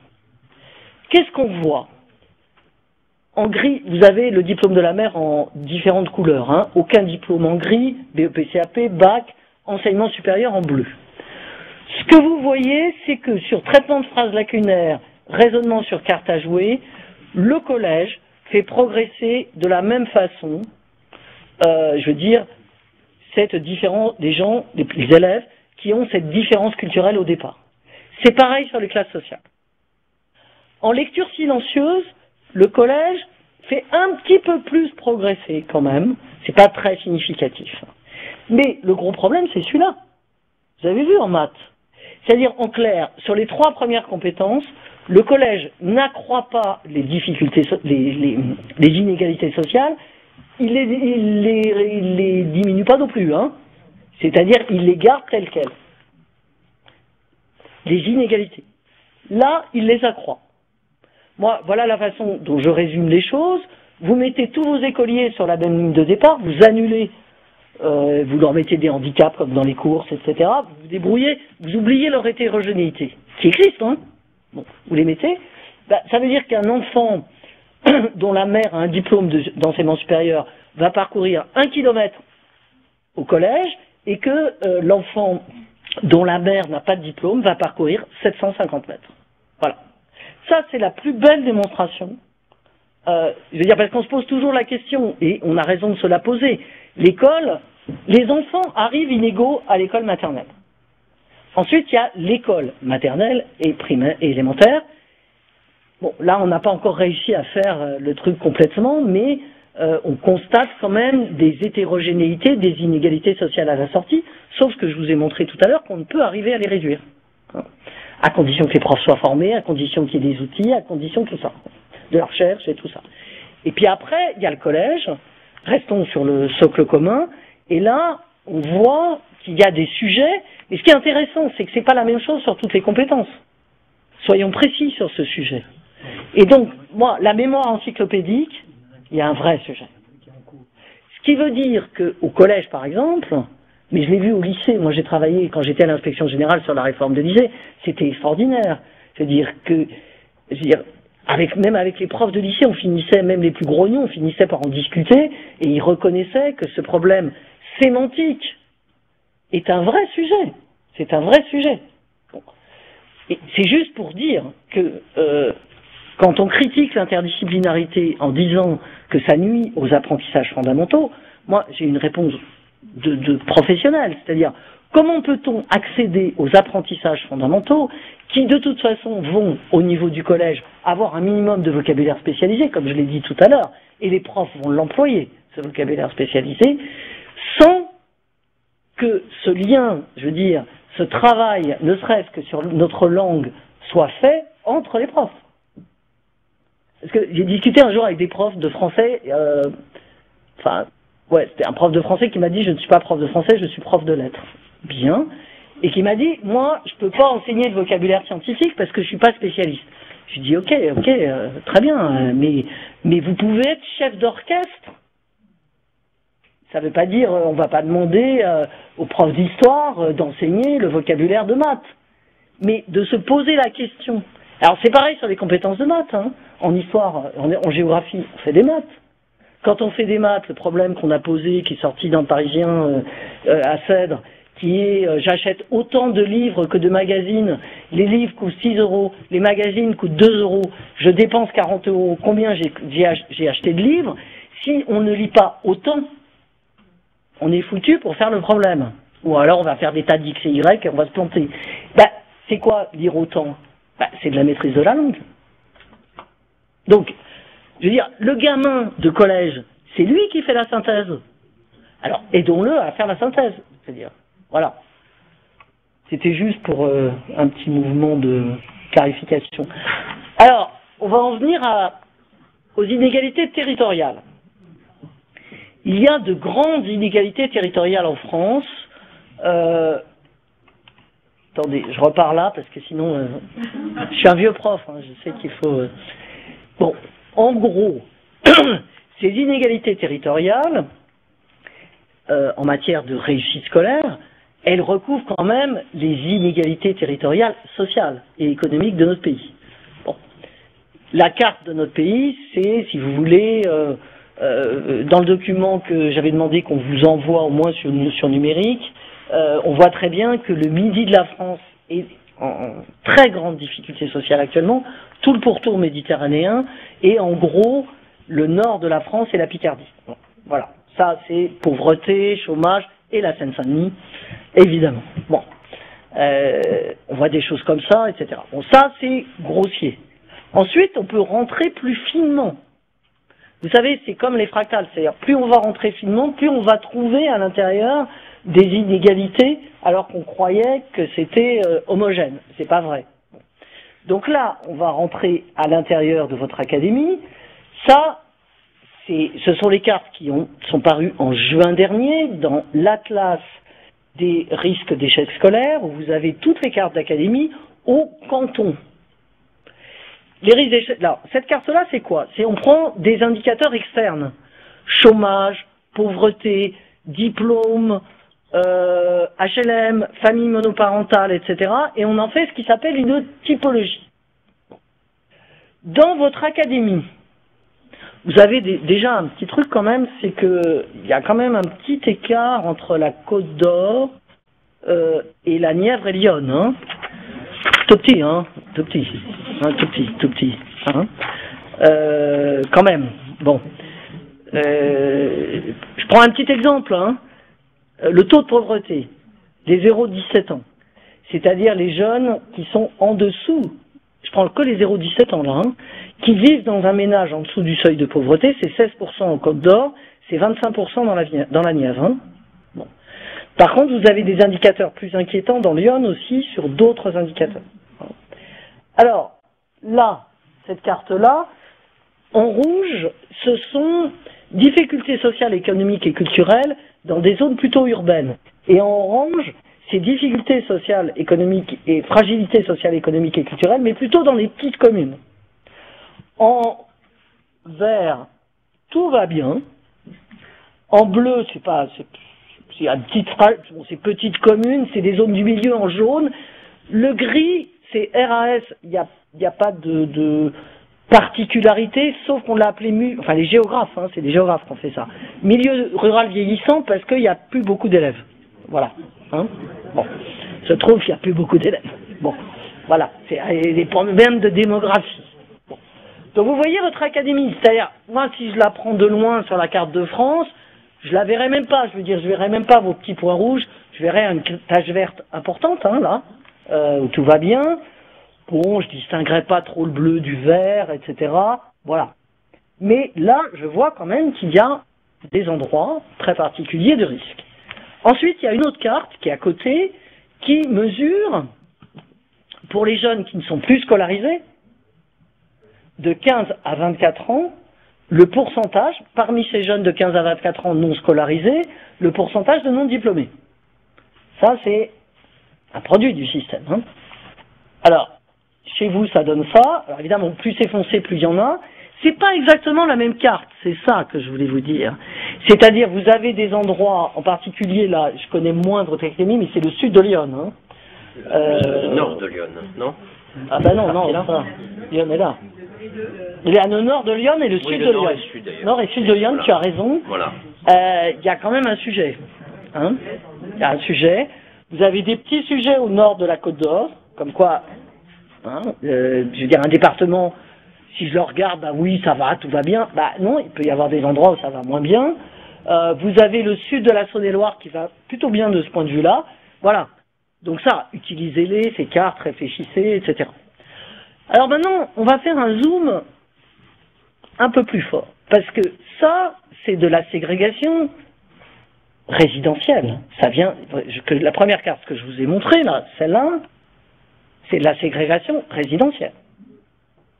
Mais la question qu'on peut se poser, c'est est-ce que nos collèges reproduisent la ségrégation résidentielle, ou bien, comme tout à l'heure, augmentent cette ségrégation par une ségrégation sociale entre établissements plus forte. Alors ça, ça fait l'objet d'énormément de travaux actuellement. Il se trouve que quand même, oui, il y a une augmentation, pas forcément en zone rurale. hein. Alors, je vous ai pris un petit exemple, il s'agit d'Auxerre. hein. Donc euh, les collègues de Lyon qui nous suivent peuvent regarder de façon attentive. Voilà. Euh, vous avez les six collèges d'Auxerre qui sont représentés en carrés de couleur. Ensuite, les points, ce sont les élèves. Ils sont géolocalisés à leur domicile et ils sont coloriés dans la couleur du collège où ils vont. D'accord? Alors, vous avez Auxerre, puis vous avez un collège en jaune qui est à l'extérieur, on va dire la banlieue d'Auxerre, mais on l'a mis parce que c'est marrant, il prend des élèves sur Auxerre. Hein? Alors, ces collèges-là, je vais vous les décrire euh, un petit peu. Je peux vous le faire. euh. Le collège privé, je pense que vous l'avez repéré, puisque on lui a mis, c'est le turquoise clair. hein. C'est Saint-Joseph. Il y a un collège privé et cinq collèges publics. Ce qui est très intéressant sur cette carte, euh, il y a un collège très défavorisé c'est le collège qui est vert. C'est le collège Bienvenu Martin qui est très défavorisé.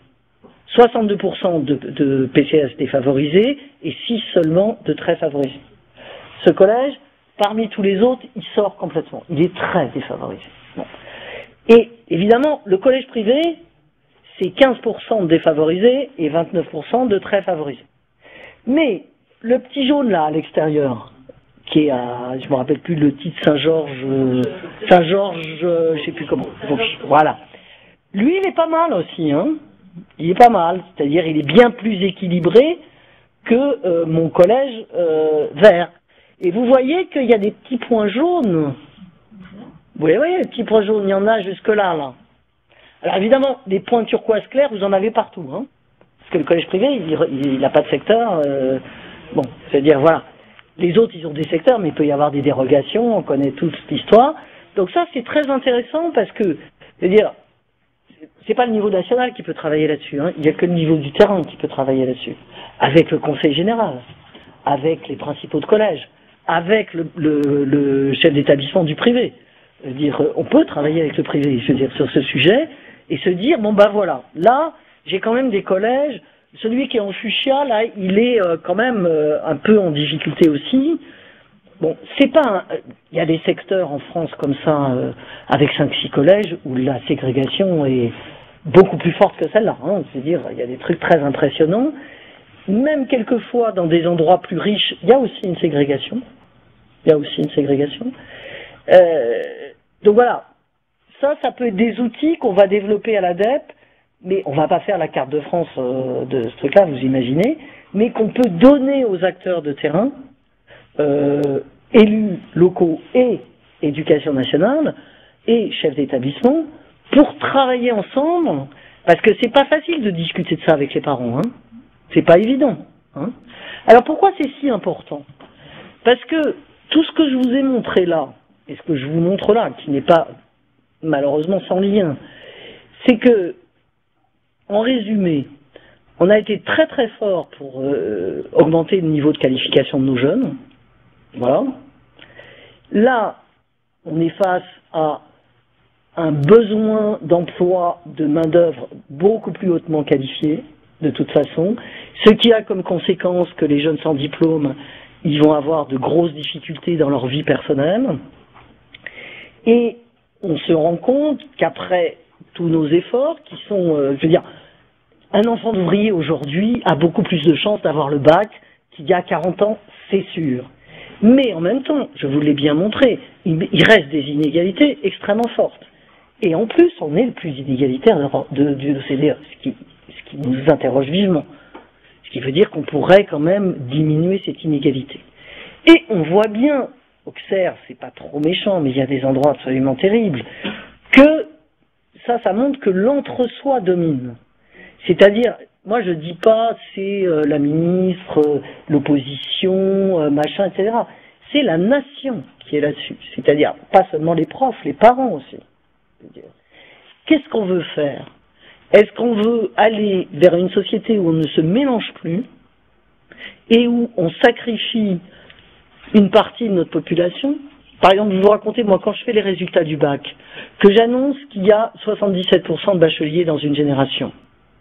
Vous savez ce qu'ils me disent, les journalistes? Ils me disent, oh bah, attendez, le bac, on le donne à tout le monde maintenant, ça vaut plus rien. Je leur dis, attendez, excusez-moi, 77%, ça veut dire qu'il y en a 23% qui sont pas bacheliers. Mais ils s'en foutent parce qu'ils ont regardé les taux de réussite, et cette population-là, elle est en train de sortir des radars. C'est-à-dire, y compris des radars des médias, c'est-à-dire, on n'en parle plus. Mais attendez, euh, je veux dire, 15% de nos gamins qui sortent sans diplôme, il faut en parler. Alors, c'est entre soi, euh, nos enfants à nous, les parents qui nous ressemblent, et même les parents de classe moyenne, hein, euh, qui sont écartelés euh, de façon très complexe actuellement, eux, ils voient le bénéfice et l'avenir de leurs enfants, ce qui est bien sûr légitime, mais le problème, c'est que plus personne ne perçoit comme un problème collectif ce problème des, par exemple, des 15% de décrocheurs ou des 1 900 000 Nice. Or, excusez-moi, c'est un problème collectif. Pour deux raisons. D'abord, c'est une bombe sociale, parce que les 900 000 gamins là, qui ne cherchent pas d'emploi, qui sont pas à l'école ni rien, moi je vais vous dire ce qu'ils font. Hein. Il y a deux sortes. Il y en a qui restent chez eux à regarder des jeux vidéo toute la journée, et il y en a qui font de l'économie parallèle. Voilà. Hein. et du coup, euh, et puis maintenant il y en a qui partent en Syrie. Voilà.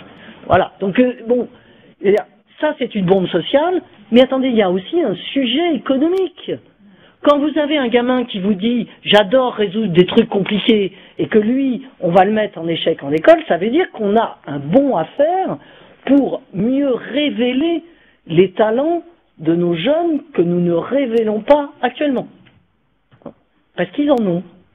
Mais ça, le truc le plus difficile, et vous êtes essentiel là-dessus parce que c'est, c'est vous qui encadrez le système, c'est de faire comprendre à toute notre communauté éducative, profs et parents, que c'est un sujet collectif.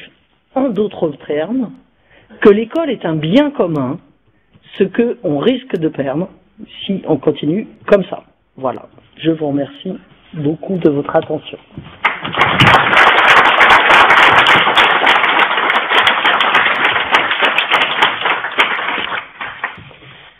Bien, je vous remercie à tous, euh, aux trois sites qui nous suivent en visio. Je sais que ça a été chaotique pour ah bah Lyon, exceptionnellement.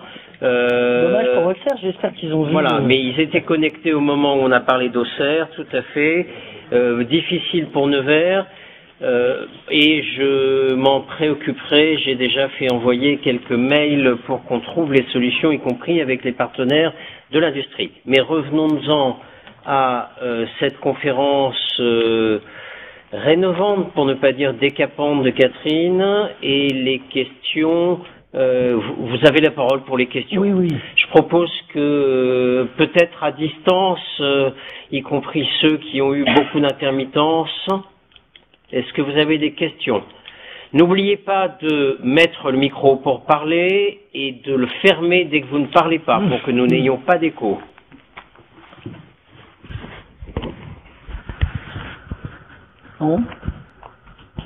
Alors, on commence ici à Dijon en attendant que vous vous signaliez à distance.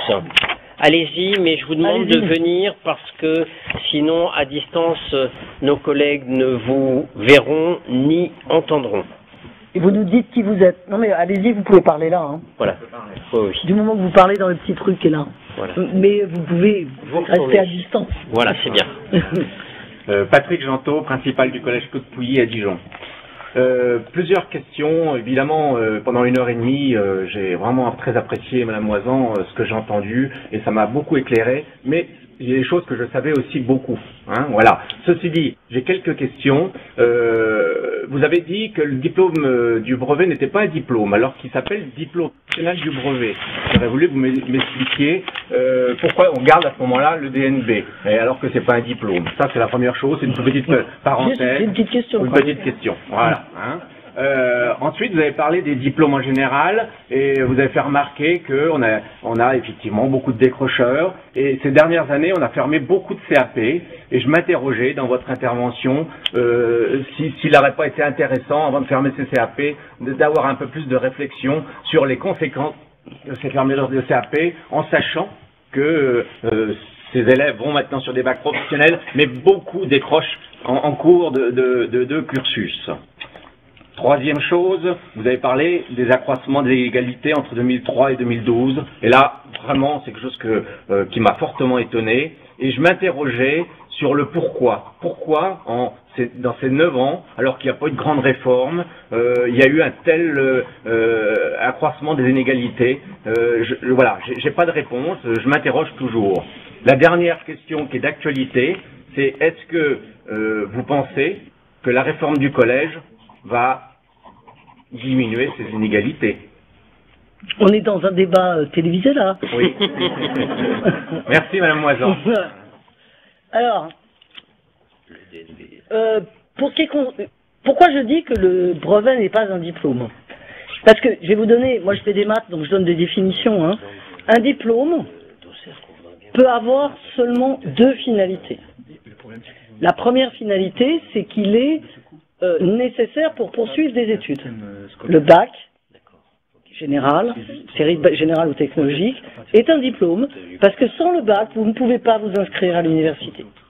Mais le bac, filière générale ou technologique, n'est pas un diplôme professionnel, vous ne pouvez pas vous, vous insérer. L'autre finalité d'un diplôme peut être, comme pour le CAP, le bac pro, le BTS, de dire c'est un diplôme professionnel au sens où il est construit avec les partenaires professionnels et où il est reconnu pour l'insertion professionnelle. Donc c'est les deux seules finalités d'un diplôme. Le brevet a été un diplôme dans les temps anciens. C'est-à-dire, par exemple, on exigeait le brevet pour un certain nombre de métiers, d'où son nom. Au jour d'aujourd'hui, on a attendu un peu, on a dans l'enquête du CEREC de génération, la génération d'avant, qui devait être, euh, je sais plus, 2004, ou, là, il y avait encore une toute petite différence euh, sur l'insertion brevet ou pas brevet. Il n'y en a plus aucune.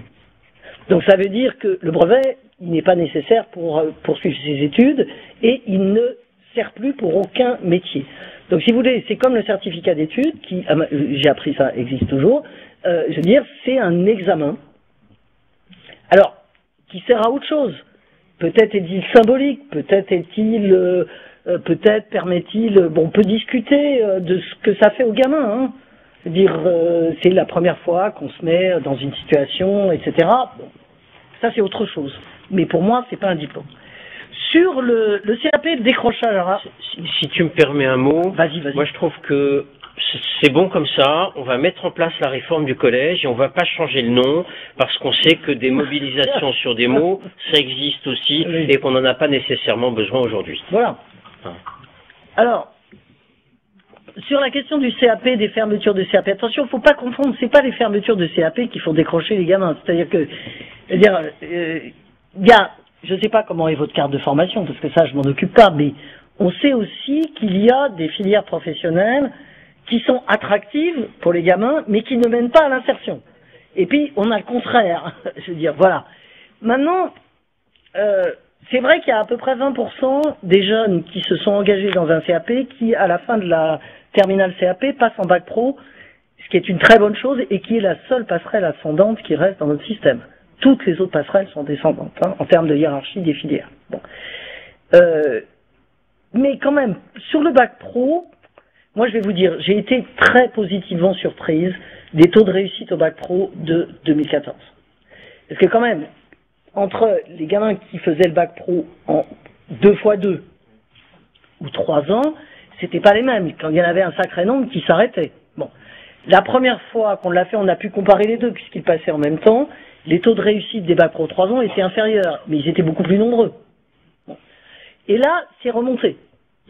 Et moi, bravo les lycées professionnels, je veux dire, euh, y compris les CFA, puisqu'on prend aussi les CFA, euh, ce qui veut dire qu'on va y arriver. Alors maintenant, il faut, c'est très compliqué le pro, parce qu'il y a des questions, de, encore une fois, de spécialité. Euh, je veux dire, et sur le décrochage en première ou deuxième année de bac pro, il existe. Il existe aussi en première et deuxième année de seconde GT, de, GT, moins, mais il existe. C'est-à-dire le départ. Hein. Euh, ceci dit, il n'augmente pas. Il n'augmente pas, ce qui est très important. Ça, si vous voulez, c'est les gamins les plus en difficulté de tous. C'est-à-dire non seulement ils n'ont pas de diplôme, mais ils sortent avant une classe terminale euh, du, second cycle, c'est-à-dire avant une terminale GT ou pro, c'est-à-dire ils sortent en seconde ou en première, et avant la classe euh, finale du CAP. Ça, c'est 10% des sortants du secondaire, hein, quand même. Quand même. Ça fait 80 000 gamins, hein, qui sortent sans atteindre, euh, parce que parmi les sans diplômes, il y en a qui ont atteint la classe de terminale, mais qui n'ont pas eu l'examen. Alors, pourquoi inégalité? Moi, je vais vous dire, ce qui me sur l'effet euh, diachronique. C'est-à-dire pourquoi ça augmente, euh, les inégalités augmentent dans notre pays comme dans les autres pays euh, actuellement. Bon, ça peut être une piste d'explication. Je pense qu'une autre piste d'explication, mais ça c'est mon, mon hypothèse, je n'ai aucune vérification, c'est que ce que je vous expliquais sur l'entre-soi, est en train d'augmenter aussi dans notre pays. Et ça c'est autre chose, parce que, je veux dire, ça veut dire que comment vous dire, si une nation commence à considérer que, après tout, il y a une partie de la population, c'est de sa faute si elle réussit pas. Ce qui est quand même un peu le mérite. Hein. c'est pour ça que la notion de mérite, moi, je la prononce jamais, parce que les élèves méritants, tout va bien, mais les élèves non méritants, ça veut dire que c'est de notre faute. C'est leur faute. J'ai fait ce lapsus, euh, voilà. regardez un truc extraordinaire. Je sais pas si vous avez, bon, c'est dans le métro à Paris, je sais pas si c'est à Dijon, il y a les pubs d'Academia. Vous voyez, Academia, bon. La pub d'Academia, c'est un élève en difficulté n'est pas un élève ignorant dans le métro.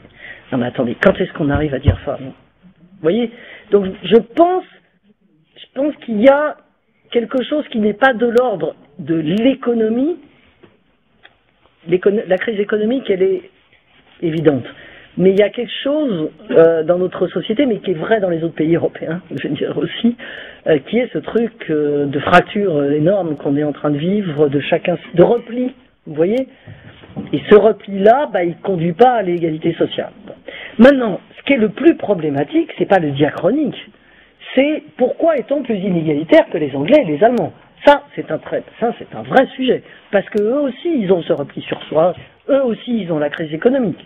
Hein alors, moi, au cours de la conférence, je vous ai donné mes hypothèses. C'est-à-dire que je pense que le statut de l'erreur, qui est une faute, une faute, dans notre pays, c'est pas possible de continuer comme ça. Deuxièmement, on a quand même, ce que je vous ai expliqué sur la bonne réponse, mais on a un modèle académique qui perdure, qui vient quand même du fait que je veux dire, nos collèges ont été construits sur le modèle des petits lycées, hein, il ne faut pas l'oublier quand même. Euh, je veux dire, euh, cette bataille éternelle du collège qui ressurgit, c'est la même depuis 50 ans. C'est la même. Je veux dire, toute la construction du collège, c'est les mêmes arguments, c'est-à-dire pour qui fait-on le collège, etc. Euh, quelles sont ses finalités et bon, donc on est tiraillé là-dessus. Euh, je pense quand même aussi qu'on a un, système éducatif qui, surtout le collège bien sûr, il a deux fonctions notre système. Il doit former et trier. Bon, surtout le collège. Et je pense que notre système passe beaucoup trop d'énergie sur le tri et pas assez sur la formation. Vous voyez Quand vous avez, ça c'est dans une, une chercheuse qui a suivi des collèges dans un des articles de notre revue, quand vous avez dans un bulletin scolaire de quatrième, fin de quatrième, passe en troisième sous réserve d'une orientation, non, passe en troisième en attendant une orientation, attendez, on ne peut pas continuer comme ça. Ça veut dire, un, je te fais pas redoubler parce que tu n'y arriveras pas. Deux, une orientation. Une orientation. Ça veut dire quoi, une orientation? Ça veut dire que le chemin normal, c'est la seconde GT, et que les autres sont orientés. Non, mais il faut arrêter. Ceux qui vont en seconde GT, ils sont orientés aussi. Et une orientation, c'est quoi? C'est un truc qu'on va appeler technique pour certains grands professeurs euh, agrégés de lettres classiques, parce qu'ils savent pas que c'est pro, mais ça c'est pas trop dans les collèges. Mais bon, mais ça va être le lycée pro, qu'on ne connaît pas si on est prof de collège. Ce qui est normal, on ne le connaît pas. On ne sait pas ce que c'est que le monde d'entreprise, etc. Mais ça veut dire quoi aussi? Ça veut dire, je te laisse passer en troisième, en attente, ça veut dire, tu te mets au fond de la classe, et tu perturbes pas. Ça, ça veut dire quoi? C'est qu'on n'arrive pas. dire, au bout d'un moment au collège, je dis pas forcément en sixième, hein, on est préoccupé par le niveau de ceux qui vont aller en seconde GT. Et de ceux qu'on va essayer aussi d'envoyer en seconde GT qui sont justes. Les autres, on se dit petit à petit qu'ils vont pas y aller. Mais c'est pas une raison pour, les pour ne pas les former. Alors, professionnellement, c'est pas simple. Hein je dire, c'est-à-dire que moi, je jette pas la pierre aux profs parce que, dire, professionnellement, ça veut dire qu'il faut être armé pour faire ça. Et qu'il euh, y a ce problème des disciplines de la solitude. Nous sommes le pays où les profs sont les plus solitaires. Ça a été dit dans l'enquête à liste de l'OCDE. En France, la classe est une affaire privée, c'est un lieu privé. On ferme sa porte, on est tout seul. Mais allez dans les autres pays, allez en Allemagne, etc. En Allemagne, les élèves, ils tricotent pendant les cours. Vous imaginez un prof qui supporte ça en France? C'est-à-dire, euh, dire bon, ils tricotaient peut-être qu'ils tricotent plus maintenant, mais ils discutent, ils mangent, euh, etc. Nous, c'est vous vous asseyez, je parle, comme je suis en train de faire en ce moment. Voilà. Donc, euh, il y a tout ça dans notre modèle, qui n'est pas du tout le modèle anglais, qui n'est pas du tout le modèle allemand. Alors maintenant, sur la réforme du collège, qu'est-ce que vous voulez que je vous dise? Moi, je suis haut fonctionnaire, nommé en Conseil des ministres. Premièrement, donc je vais vous dire, bien évidemment. Deuxièmement, euh, Deuxièmement, deuxième sorte de réponse, euh, je, peux avoir un, je pourrais avoir un avis scientifique sur la question, parce que ça c'est mon boulot. Hein. Euh, ce que je pense profondément, c'est la première chose, par rapport au tout le travail qu'on fait, c'est qu'on ne peut pas continuer comme ça. On ne peut pas continuer comme ça, pour toutes les raisons que je vous ai données. On ne peut pas non plus avoir la nostalgie de avant le collège unique. Il faut arrêter, et ça c'est quand même grave, c'est-à-dire se, mettre à dire qu'on va orienter les gamins à 11 ans, c'est un scandale. En 73, vous aviez même pas 30% des élèves entrés en sixième en 73, et encore, il n'y avait plus de fin d'études, moins de 30% d'élèves bacheliers, et il y en avait euh, presque 30% qui étaient sortis 5 ans après leur entrée en sixième. Hein bon, est-ce qu'on veut ça? Non, on peut plus, puis on peut plus pour des raisons économiques. Donc, la difficulté qu'on a, c'est comment faire un collège unique qui ne soit pas uniforme, en quelque sorte. Bon. La seule solution pour ça, c'est de changer, d'abord, de donner des heures. Parce que qu'est-ce qu'ils ont fait, les autres pays hein? Quand même, faut pas exagérer. Ils ont fait exactement euh, ce que le gouvernement propose actuellement. C'est-à-dire, ils font de l'interdisciplinarité, ils se marrent tous, les autres pays. Ils disent, non mais oh, vous êtes fous, nous, ça fait longtemps qu'on le fait. Ils ont gardé le collège unique pour ceux qui l'ont fait. Les Allemands n'ont pas fait, mais je veux dire, les entreprises allemandes ne fonctionnent pas comme les entreprises françaises non plus. Hein. Ensuite, ils ont donné de l'autonomie aux établissements, bien plus que nous.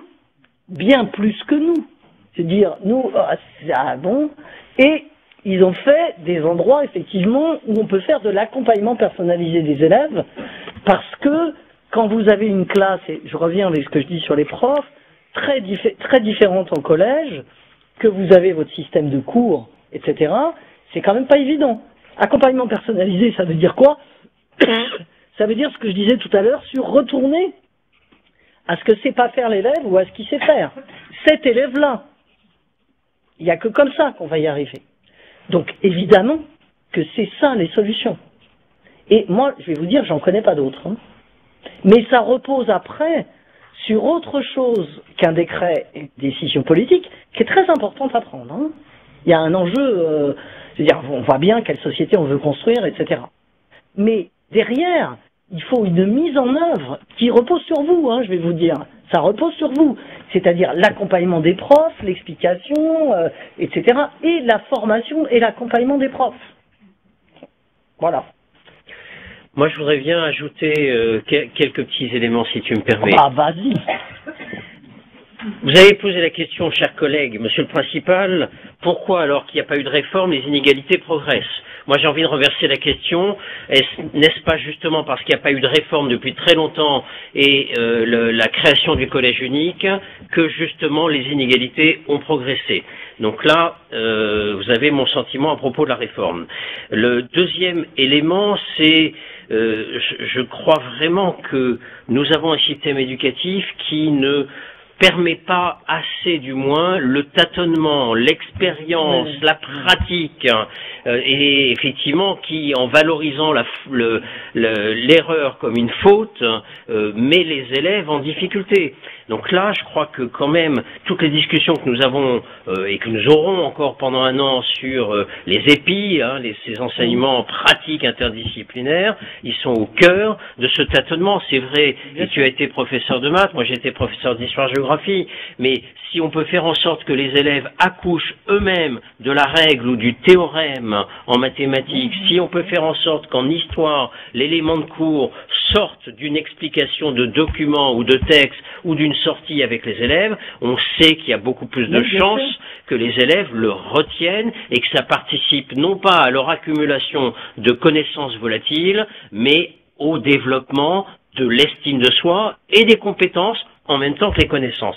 Et puis, parce que tu as parlé d'académia, je ne peux pas laisser non plus les choses comme ça. Lisez volontiers les trois dernières pages du rapport de Jean-Paul Delahaye sur la grande pauvreté dans l'éducation nationale, y compris pour savoir et vous interroger pourquoi on a un système qui continue à financer Academia et les autres officines du même type. Il est excellent ce rapport.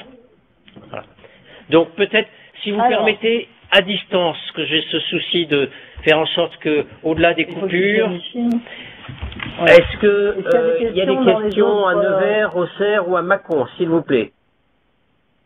Et allez-y vite, près d'un micro par contre. On ne vous voit pas très distinctement, donc il faut vraiment que vous déplaciez vite vers le micro si vous voulez prendre la parole.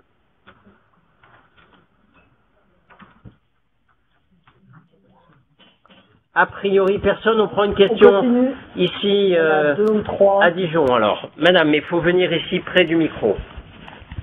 Et s'il y a des collègues qui à distance veulent prendre la parole après, venez d'emblée vers le micro. Allez-y.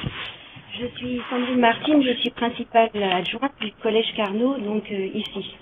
Euh, nous scolarisons au Collège Carnot 25% d'élèves qui sont issus de ZEP et le reste des élèves issus plutôt d'un centre-ville favorisé. Donc on est bien placé pour observer comment les choses se jouent.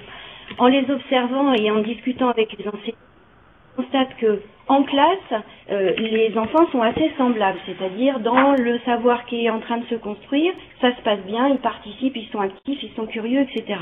Le fossé se creuse sur ce qui est à faire à la maison. Et moi, j'ai l'impression qu'on demande aux enfants pas des mais surtout euh, parents d'avoir. C'est-à-dire, on, on, je vais employer un terme euh, provocateur euh, à dessein, on externalise une partie de nos missions d'éducation auprès des parents. Et d'ailleurs, souvent des mères qui sont soit disponibles ou pas, qui ont la capacité de payer quelqu'un pour faire à leur place euh, le, la récitation, l'entraînement à la dictée, etc. Et puis ceux qui ne sont pas pédagogues parce qu'ils maîtrisent parce que même n'ont pas les compétences mmh. scolaires. Et finalement, je voulais vous demander s'il existe euh, des expérimentations de collèges, hein, je ne parle pas des plus grands et des lycéens, mais de collèges sans devoir. Cette question des devoirs, moi j'ai l'impression qu'on évalue les élèves non pas sur ce qu'ils savent faire, mais sur ce qu'ils ont fait ou pas à la maison. C'est-à-dire sur la capacité qu'ont les parents à les entraîner et à les obliger à le faire. Moi je l'ai fait quand j'étais jeune enseignante dans ma classe, j'avais cessé d'aider s'il y avait une poésie à apprendre, on l'apprenait tous ensemble. Et je me rendais compte que les plus doués ne la savaient pas moins bien, mais ceux qui l'étaient moins la connaissaient au moins un peu, alors qu'à la maison, ils ne l'avaient pas apprise du tout. Donc on passait de 0 à 10, ce qui était déjà énorme. Est-ce que ça existe ce genre d'expérimentation? Est-ce qu'il ne faudrait pas à un moment taper du poing sur la table et dire stop au collège, il n'y a plus de devoirs?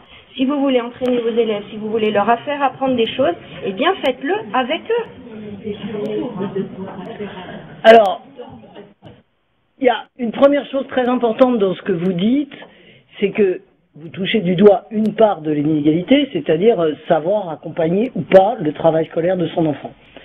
Euh, en plus de l'inégalité que je mentionnais par exemple sur euh, le, niveau de vocabulaire qu'on a à l'entrée à l'école maternelle, hein, qui est un vrai sujet, qui dépend aussi de est-ce qu'on a lu des histoires et tout. Euh, cette inégalité-là, elle est majeure.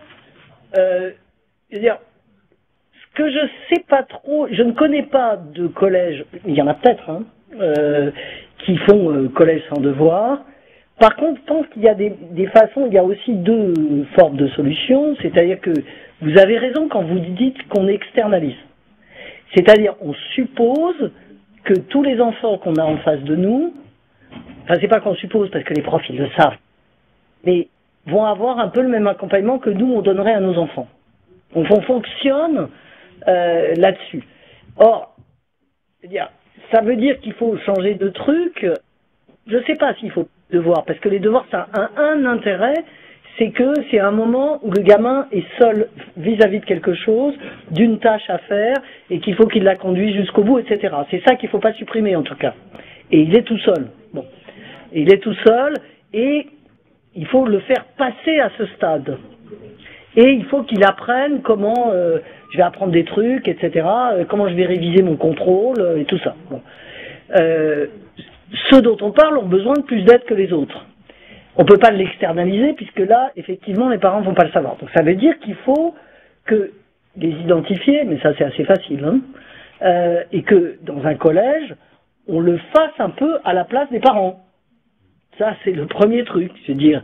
Et le deuxième chose, quand même, il y a des expériences qui ont été faites qui montrent que si les parents de milieux très populaires, très loin de l'école, ne peuvent pas faire les exercices de maths de leurs enfants, mais à la limite vous tous non plus, quand vous, si vous avez un gamin qui a à F, vous savez pas faire les exos, ça va quoi.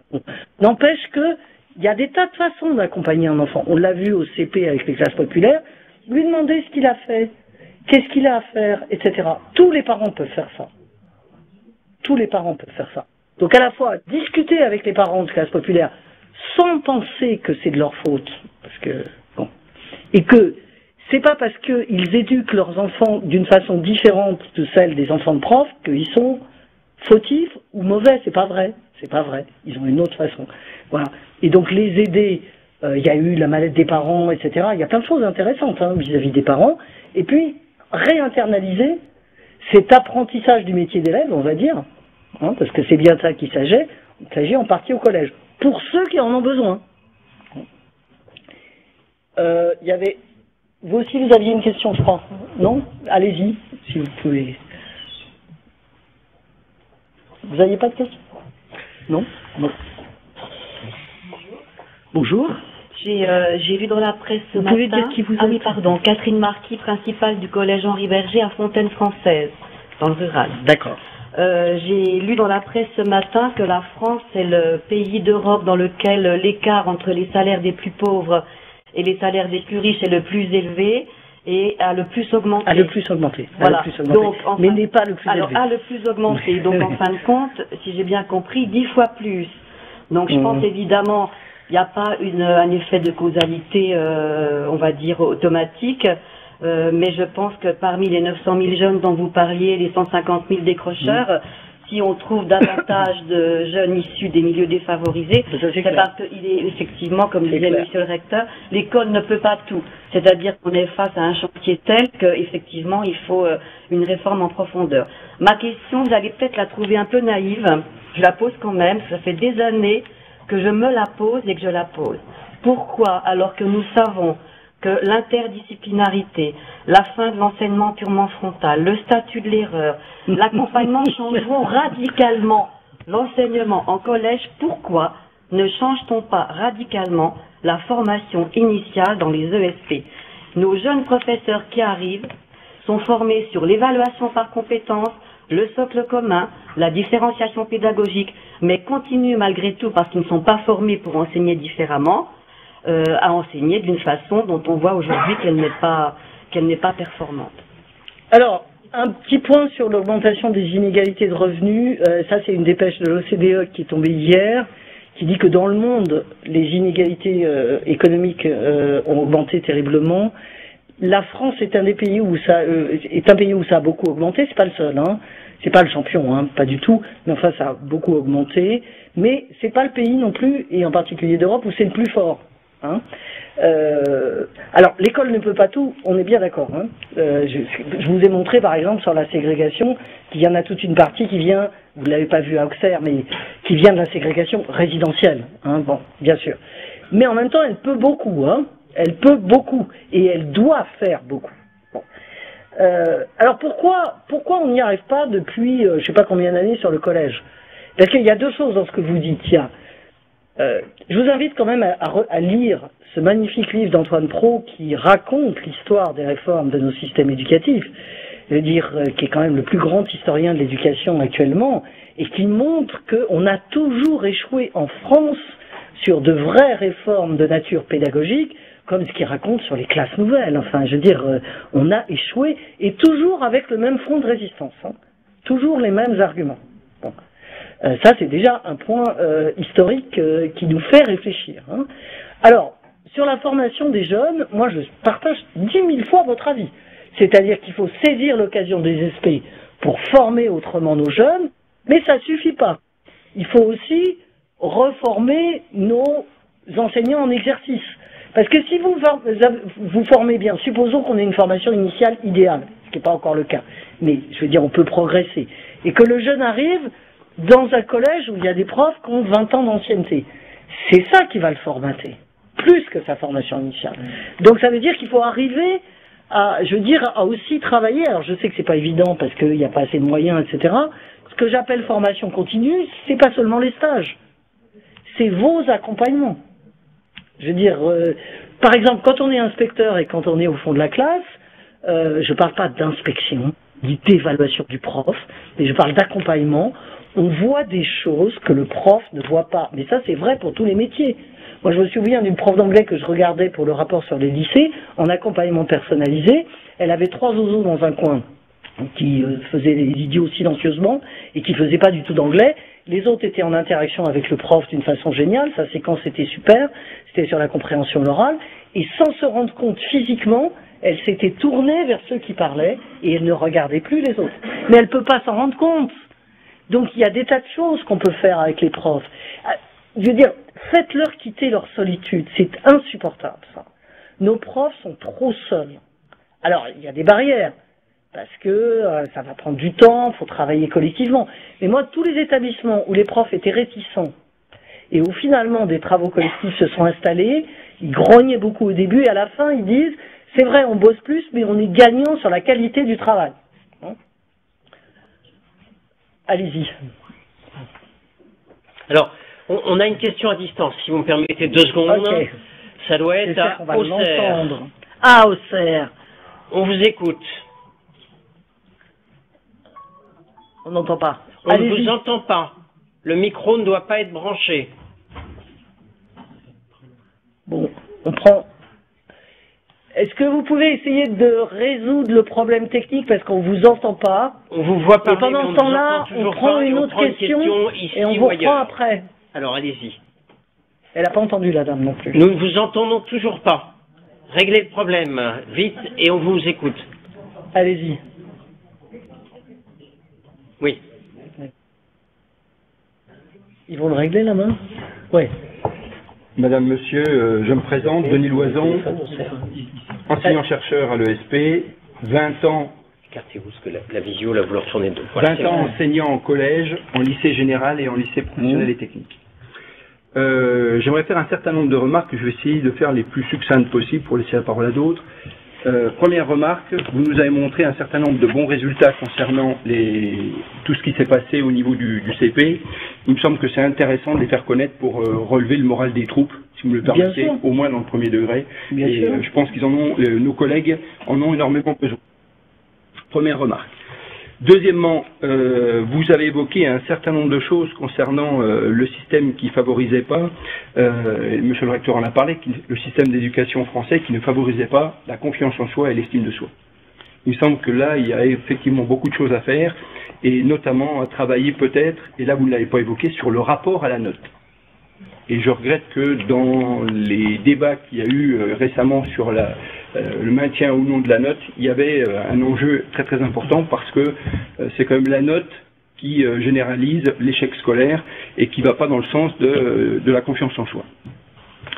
Autre remarque, et là je me permets de revenir sur une confusion des rôles qu'il y a entre l'ESP et puis l'université quand vous avez parlé de la recherche en mathématiques. Euh, pas en mathématiques. La recherche en didactique des mathématiques, on est d'accord.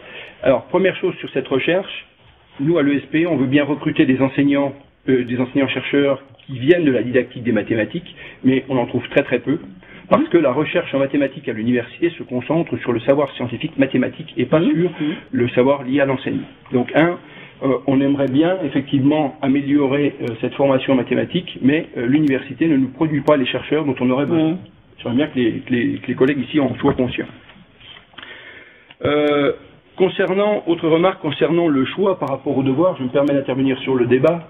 Euh, il me semble que euh, dans les solutions qui sont proposées face aux innovations réalisées dans certains établissements, le fait de laisser le choix aux élèves de faire ou ne pas faire produit énormément de retours en matière de, de, retour sur les devoirs à la maison c'est expérimenté en collège, plutôt en lycée. Je n'ai pas d'expérience en collège, mais le fait de laisser le choix, dire vous nous rendez les copies ou vous ne les rendez pas. Si les copies sont rendues, eh bien on les note. Si elles ne sont pas rendues, tant pis, ça n'influence pas la moyenne. Mais bon, euh, il me semble que ça donne une part de responsabilité aux gamins très très tôt. Autre élément, euh, vous, êtes, euh, vous avez évoqué la formation initiale des enseignants à l'ESP. Vous, l'avez, vous avez parlé de la formation continue, tout ce qu'il y avait à faire, mais il me semble que nous autres, formateurs à l'ESPE, on, a à combattre un habitus scolaire et on ne peut pas lutter contre 15 ans, voire 20 ans euh, d'intégration de cet habitus euh, scolaire par rapport à une ou deux années de formation initiale. On remplit, essaye de remplir une mission qui nous est, qui, est quasiment impossible. Donc euh, très très difficile de modifier ces habitus, bien que les formateurs aient conscience de tout ce qu'il y a à faire et de tous les enjeux. Enfin, dernier point, si vous me le permettez, pour lutter contre la solitude que vous avez évoquée dans le milieu scolaire, il me semble qu'il y a un des enjeux pour lutter contre cette solitude, cette solitude, c'est de généraliser un petit peu ce qu'on appelle les dispositifs d'analyse de pratique à l'intérieur des établissements, parce que ces dispositifs nous montrent que, un, il y a une rupture de, de, la solitude, et puis il y a une recherche de solutions qui se fait entre pairs, et qui n'est pas une recherche de solutions qui tombe du haut, qui relève de la prescription. Voilà, excusez-moi pour toutes ces, remarques. Euh, sur la première chose, évidemment que je pense comme vous qu'il faut faire connaître euh, ce qui s'est passé sur notre étude sur le CP, c'est d'ailleurs ce que je fais aujourd'hui, hein, euh, parce que ça montre, d'abord, vous avez raison, il faut dire et absolument dire quand on obtient comme ça des résultats extraordinaires de progression, euh, pas seulement pour le moral des troupes, mais c'est parce que aussi ça montre que c'est possible et que nous ne sommes pas euh, dans un déterminisme absolu quand même, hein, heureusement, parce que sinon on n'a qu'à prendre les élèves à trois ans, les tester et puis on décide de leur avenir. Hein. Voilà, comme ça on fera plein d'économies. Mais je veux dire, c'est très important. Alors je vous ai remis une petite diapo là, c'est aller sur le site chercher nos publications. Vous avez des foules de trucs. Vous êtes des formateurs, vous êtes des encadrants. Nourrissez-vous de ça. Vous avez sur éducation.gouv, onglet statistique, vous trouvez plein de trucs. Hein. Euh, sur la confiance en soi et la note, bon, bien évidemment, moi, quand j'ai parlé du rapport à l'erreur, de la bonne réponse, etc., mais c'est bien plus que la note, hein, c'est tout ce que j'ai dit. C'est-à-dire que, bon, c'est... Euh... Alors, sur la recherche en didactique des maths et euh, la recherche sur, pas seulement en didactique des maths, parce qu'il n'y a pas que la didactique, la recherche, par exemple, sur la lecture n'est pas que de la didactique, il y a même des sciences euh, inhumaines et asociales, telles que les sciences cognitives, qui s'y sont mis et qui nous ont beaucoup apporté. Donc c'est un ensemble de scientifiques, chacun spécialisé, il y en a sur la didactique, il y a des spécialistes des apprentissages, c'est la, la, psychologie des apprentissages, et puis il y a les sciences cognitives. C'est vrai qu'en France, je le dis et je le redis, nous avons une insuffisance de cette recherche. C'est absolument vrai. Mais les domaines dans lesquels nous en avons, je pense sur le code, ça va, c'est passé à peu près chez les formateurs. Je pense à la compréhension, par exemple. Je sors des maths. Vous avez des chercheurs extraordinaires actuellement, euh, je veux dire, sur spécialistes des apprentissages sur la compréhension. Simplement, ça passe pas dans la formation. Là, on les a, les chercheurs. Donc, il y a des branchements aussi. Hein. Vous savez le problème qu'il faut arriver à faire. Euh, ensuite, euh, toujours sur les maths, ce que j'ai dit sur les profs d'école. Il n'y a pas seulement la didactique en maths, mais j'ai dit qu'il fallait aussi les réconcilier eux-mêmes en maths. Ça, c'est un problème de fond qu'on n'a jamais bien résolu. C'est c'est quoi un professeur polyvalent et quelle culture générale de prof on va lui donner? Alors, si on le recoupe en rondelles de saucisson, euh, comme euh, on fait avec les élèves, en clair, ça va pas le faire. Hein. Mais par exemple, sur les maths, qu'est-ce que je disais? Si, en SP, on leur prend des profs de maths universitaires qui vont leur faire un cours sur les vecteurs ou sur machin, c'est, ça n'a aucun effet. On s'en fout, c'est pas l'objectif. L'objectif, c'est de leur parler de l'histoire des maths, par exemple, leur montrer des choses, leur montrer ce que j'ai raconté sur la division, les faire travailler sur ce qu'ils vont enseigner, c'est-à-dire la conscience du nombre, des tas de trucs comme ça, c'est lié à la didactique, mais leur redonner une culture mathématique. Sur le choix, j'ai pas d'avis parce que ça je l'ai pas évalué. Sur l'habitus, bien sûr, vous formez en formation initiale. Donc vous formez les nouveaux, c'est ce que je disais, après ils vont être formatés par autre chose. N'empêche qu'au bout d'un moment, les nouveaux, ça sera eux les plus nombreux. Donc il faut quand même, euh, faut pas lâcher la rampe. Euh, et sur la solitude, bon, il y a des tas d'expérimentations, mais enfin, regardez, plus de maîtres que de classe. Et moi j'ai vu dans certains lycées rares, deux profs de disciplines différentes intervenir ensemble en classe, ben, commençons par ça mais il faut les habituer parce que qu'est-ce qu'il dit une partie des profs, on l'a vu dans un rapport de recherche, c'est qu'il y a le regard de l'autre prof auquel ils ne sont pas du tout habitués. Et le regard de l'autre prof, sa première réaction, c'est qu'est-ce qu'il va dire de moi? Voilà. Donc il faut surmonter ça et arriver à parler ensemble normalement entre professionnels de ce qu'on fait. Et ça, c'est pas c'est pas facile, hein, parce que là, là, on a des années de c'est comme si c'était un espace privé, quoi. Hein c'est comme si c'était un espace privé. Je veux dire. Euh... Alors, est-ce que ça marche à Auxerre? Non. On va recevoir la question par SMS. Dès ah d'accord. Euh, d'accord. On vous la donnera.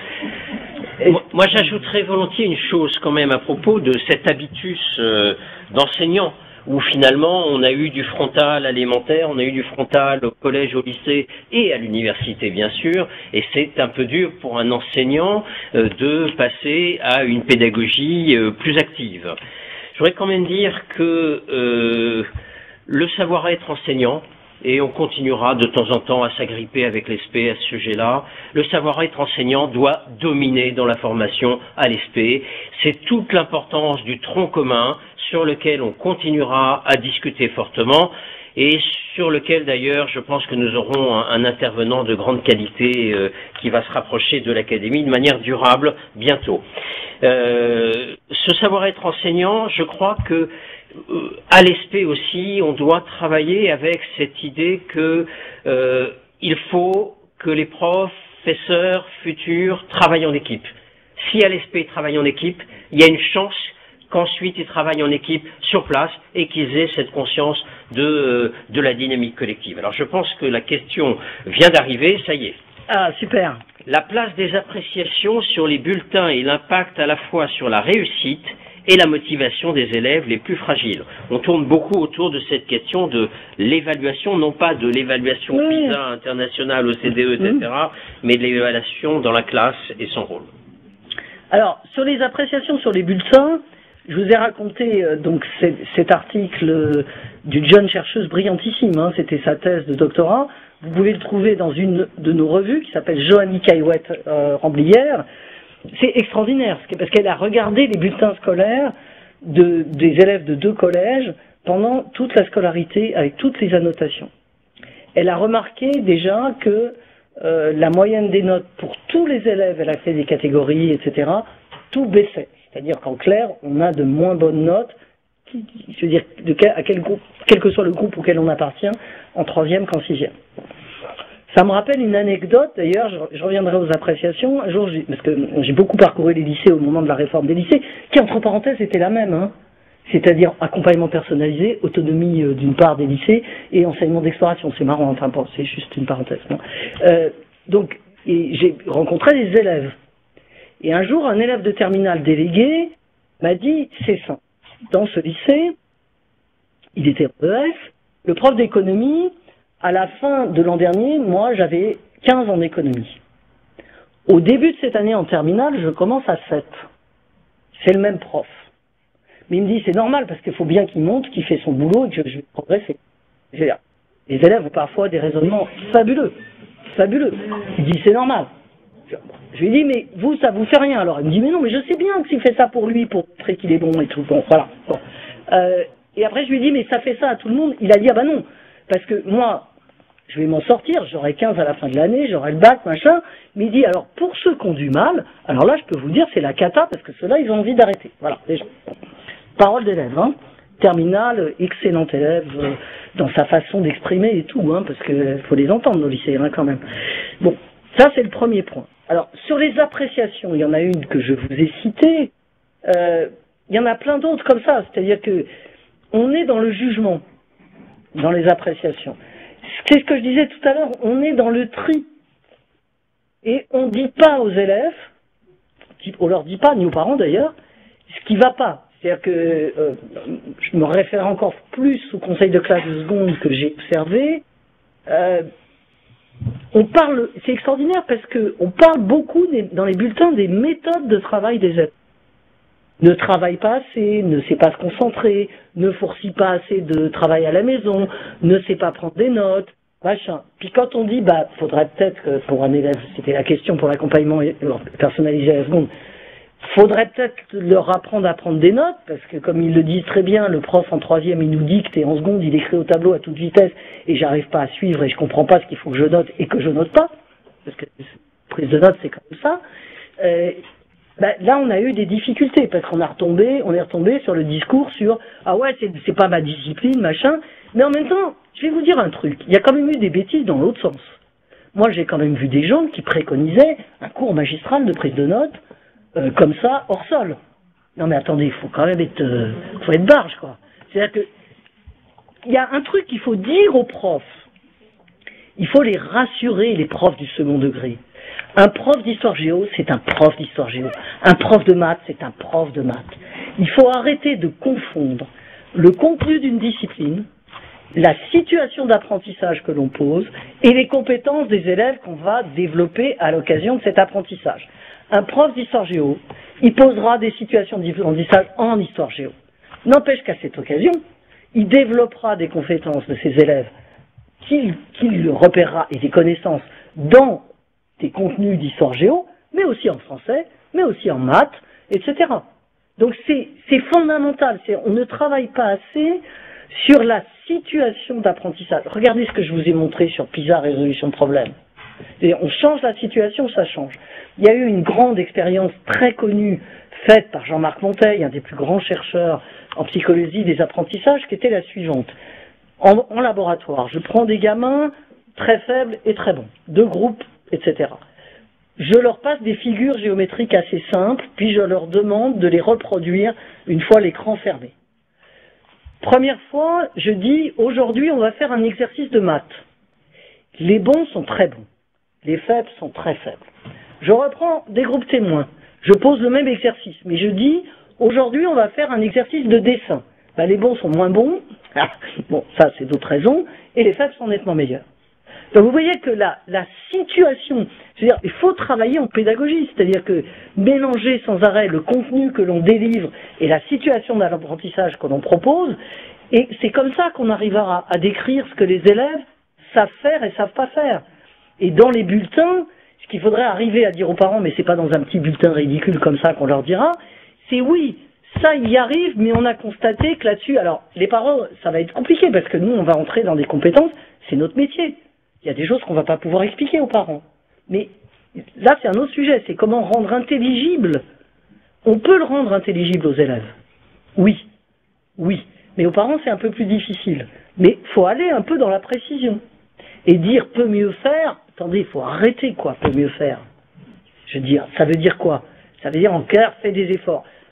C'est absolument louable les efforts. Hein. Moi, je crois pas au machin youpi youplaboum, euh, ça va être bien. Je suis d'accord qu'on ne peut apprendre que par l'effort, mais pas forcément par la souffrance, quoi. Hein voilà. Alors, une autre question qui vient d'Auxerre, le problème de la mixité sociale et Ouais. des secteurs des collèges sous la responsabilité des conseils départementaux. Oui. Ben, c'est pas un problème que ce soit les conseils départementaux, c'est un fait. Ça veut dire, si vous voulez, sur la question mixité et ségrégation dans les collèges, il y a deux responsables. C'est le seul cas, hein. Il y a un responsable du secteur, c'est le conseil général, et un responsable de l'affectation des élèves, c'est l'État, donc en général le DAZEN. Et il y a des dérogations possibles dont est responsable l'État. Je vous signale quand même que c'est le seul endroit où c'est comme ça, puisque dans les écoles, le maire a la double compétence, il fait les secteurs et il affecte. Pour les lycées, l'État a la double compétence aujourd'hui, il aura une compétence de sectorisation mélangée avec la région, mais qui ne n'abandonnera pas. Donc ça veut dire qu'il faut travailler ensemble. Il y a des choses qu'on peut résoudre par le secteur, il y a des choses qu'on peut résoudre par l'affectation. Et il faut bosser ensemble en toute transparence. C'est un partenaire absolument essentiel. Avec, il faut aussi respecter ses propres contraintes, qui vont être des contraintes financières, euh, comme nous, on a des contraintes de profs, euh, d'affectation de profs, euh, etc. C'est normal. Mais il faut travailler avec eux. Il n'y a pas d'autre solution. Alors, on a une question de Saône-et-Loire, de Chalon, de Didier Perrault, qui est euh, co-doyen des IEN TEG, euh, sur l'entrée, sur les résultats à l'entrée au CP. Comment explique-t-on les progrès constatés, raisons externes au système, élévation du niveau des mères notamment, ou internes, pédagogie de la maternelle, durée de la scolarisation, ou enfin mixage des deux? Alors, sur l'explication des résultats, on a travaillé avec euh, l'inspection générale, en l'occurrence Viviane Bouys, qui, qui a fait quand même un, rapport extraordinaire sur la maternelle euh, il y a une, un, deux ans, je crois. Euh, je, vous livre ces hypothèses à elle, hein, euh, parce que je pense qu'elle formule comme des hypothèses d'ailleurs. Premièrement, alors j'enlève le- l'effet sociologique externe parce que j'ai expliqué qu'il était de moins de 30% de l'évaluation de l'élévation du niveau des petites CP dans ces compétences-là. Donc il reste les 70% à expliquer, mais qui sont quand même considérables. Bon. Première chose que dit Viviane, c'est euh, les enseignants de, 4, de, de, de 97 et 2011, c'est pas les mêmes. Hein. Ce n'est pas du tout les mêmes. Le niveau de formation est quand même pas le même. Il y avait encore beaucoup d'instituteurs en 97, il n'y en a pas plus, du tout en 2011. Donc il est possible que le niveau de formation universitaire, qui a été euh, considérablement élevé, on n'était pas encore à Bac plus 5, hein, je veux dire, euh, ait eu un effet. Ça, c'est une hypothèse. Pour, élevé pourquoi? Pour pouvoir mieux intégrer certains acquis de la recherche. Deuxième hypothèse que, que je reprends tout à fait à mon compte, c'est qu'au début des années 90, il y a eu énormément de développement de la recherche et des questions à notre pays sur l'illettrisme. Énormément. Il y a eu des expérimentations, il y a eu Zorman, il y a eu euh, tout ça, qui ont fini. Je veux dire, ça y est, il faut du temps pour que la recherche, quand elle existe, euh, je veux dire, qui est forcément de la recherche, euh, se transforme, se traduise, qu'elle soit transportée par les formateurs et les praticiens, je veux dire, euh, conseillers pédagogiques, maîtres formateurs, etc., et qu'elle arrive à un changement de pratique. Et donc ça, c'est vraisemblablement l'explication la plus forte, c'est-à-dire ces recherches, elles ont toutes porté sur l'essentiel, enfin sur le fait que le code était totalement essentiel, sur des méthodes pour y arriver, sur le phonème graphème, on a quand même énormément progressé, enfin, etc. Et donc ça, c'est certain que ça a fait un effet chez les profs d'école et les instituts de maternelle. Voilà. Ça, c'est vraiment... Alors, l'interrogation que posait Viviane, parce que ces hypothèses, elle les avait formulées avant qu'on fasse le CE2, c'était un, et on avait la même interrogation, quid de la maîtrise de la langue, puisqu'on ne l'a pas, on l'a pas évalué, euh, évidemment, et comment ça va se passer au CPCE1 euh, après, euh, comment ça va se passer avec cette, cette équation du niveau, euh, comment vont réagir les profs d'école, comment réagissent-ils au CPCE Voilà. On va prendre peut-être une oui, dernière question. Une dernière question peut-être à Nevers. On n'a pas beaucoup entendu Nevers aujourd'hui, ou sinon dans la salle. Hello Nevers.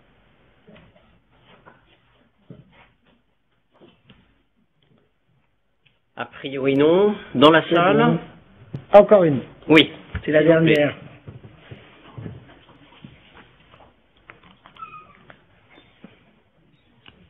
Martin, je suis directeur du Centre d'information et d'orientation Dijon 2. Oui, ça fait là. Dans un article récent euh, publié sur la vie des idées, euh, le site La vie des idées, Pierre Merle suggère d'ajouter à l'affectation des moyens des établissements, et notamment dans les établissements privés sous contrat, un indicateur de mixité sociale. Qu'est-ce que vous pensez de cette idée? Alors, euh, pour vous répondre, que ce soit d'ailleurs pour les établissements privés ou publics, le sujet est exactement le même. Euh, nous, on travaille bien sûr avec l'INSEE, hein, qui travaille beaucoup sur la ségrégation, vous imaginez bien, et tous mes INSEE chez moi sont quand même des économistes euh, et je veux dire travaillent sur ce sujet. Ils sont là aussi dans la salle. Ils sont dans la salle. Euh, premier point, il n'existe pas d'indicateur de mixité. Les seuls indicateurs qui existent, c'est le contraire, c'est-à-dire ce sont des indicateurs de ségrégation. Faut, faut quand même le. Parce mixité, ça veut dire quoi? On veut quoi? Ségrégation, oui, on peut le mesurer. Alors, les, les, les indicateurs de mesure, enfin les instruments de mesure de la ségrégation, ça fait des années que les chercheurs y travaillent. Euh, je peux même pas vous donner les formules, quoi. C'est-à-dire, il y en a trois. Euh, il y en a un qui s'appelle Duncan et Duncan. Il y en a un qui s'appelle l'entropie et l'autre l'exposition normalisée. C'est des calculs statistiques très compliqués, très robustes. Il y en a toujours un qui peut permettre de faire un truc, c'est-à-dire de poursuivre dans le temps pour voir si elle évolue. Un autre qui pourra le fragmenter, c'est-à-dire dire cette ségrégation que je constate, elle est due à tel, tel, tel, tel facteur. Donc on est un peu obligé de temps en temps d'en prendre plusieurs.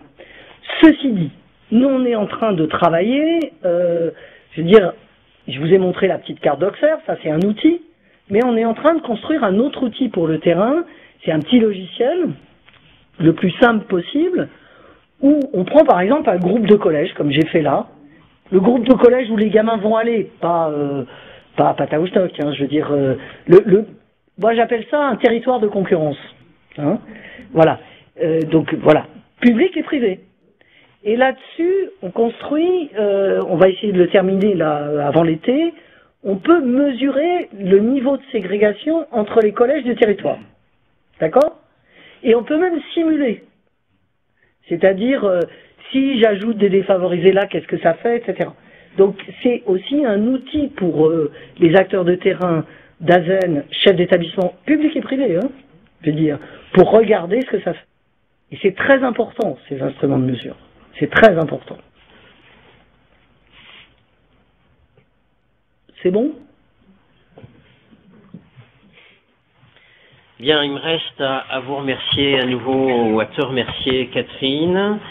Vous dire quand même qu'on a un exemple avec Catherine de euh, grand responsable euh, du ministère qui à la fois est capable d'impressionner son public, tous les publics, euh, recteurs compris, que la langue de bois n'est pas nécessaire pour se comprendre dans l'éducation nationale et que aussi... Tu parles du référentiel bondissant excentré? Je parlais de toi, juste pour l'instant.